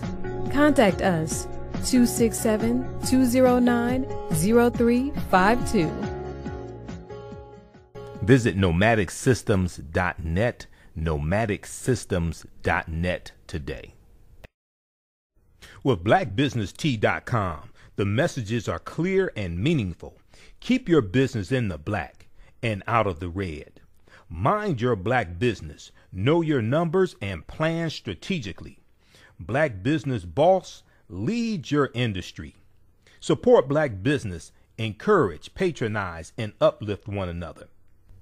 BlackBusinessTee.com currently has products sold in Detroit, Atlanta, Chicago, and Los Angeles with proceeds returned to the black community. They have a wide selection of hoodies, t-shirts, mugs, hats, sweatshirts that support black-owned businesses. Visit the website blackbusinesstee.com. That's blackbusinesstee.com. For 25 years, the Black History 101 Mobile Museum has carried on the rich legacy of the Black Museum movement in America by showcasing original artifacts of the Black experience at college, universities, K-12 schools, corporations, libraries, conferences, and cultural events, making it the most traversed Black History mobile exhibit in American history. Dr. Khalid El Hakim is the founder of the Black History 101 Mobile Museum, and he is a highly sought after public speaker on topics of black history, social studies, education, museum studies, hip hop, and race relations. Dr. Khalid named among the changemakers for NBC Universal's Erase the Hate Pain and listed as one of the 100 men of distinction for black enterprise recently founded the Michigan Hip Hop Archive on the campus of Western Michigan University. The Black History 101 Museum is currently scheduling in person and virtual exhibits nationwide. For more information, please contact Dr. Khalid Al Hakim directly at 313 645 4197, 313 645 4197, or visit their website at blackhistorymobilemuseum.com. That's blackhistorymobilemuseum.com. You can also email him at bhistory101 at yahoo.com. B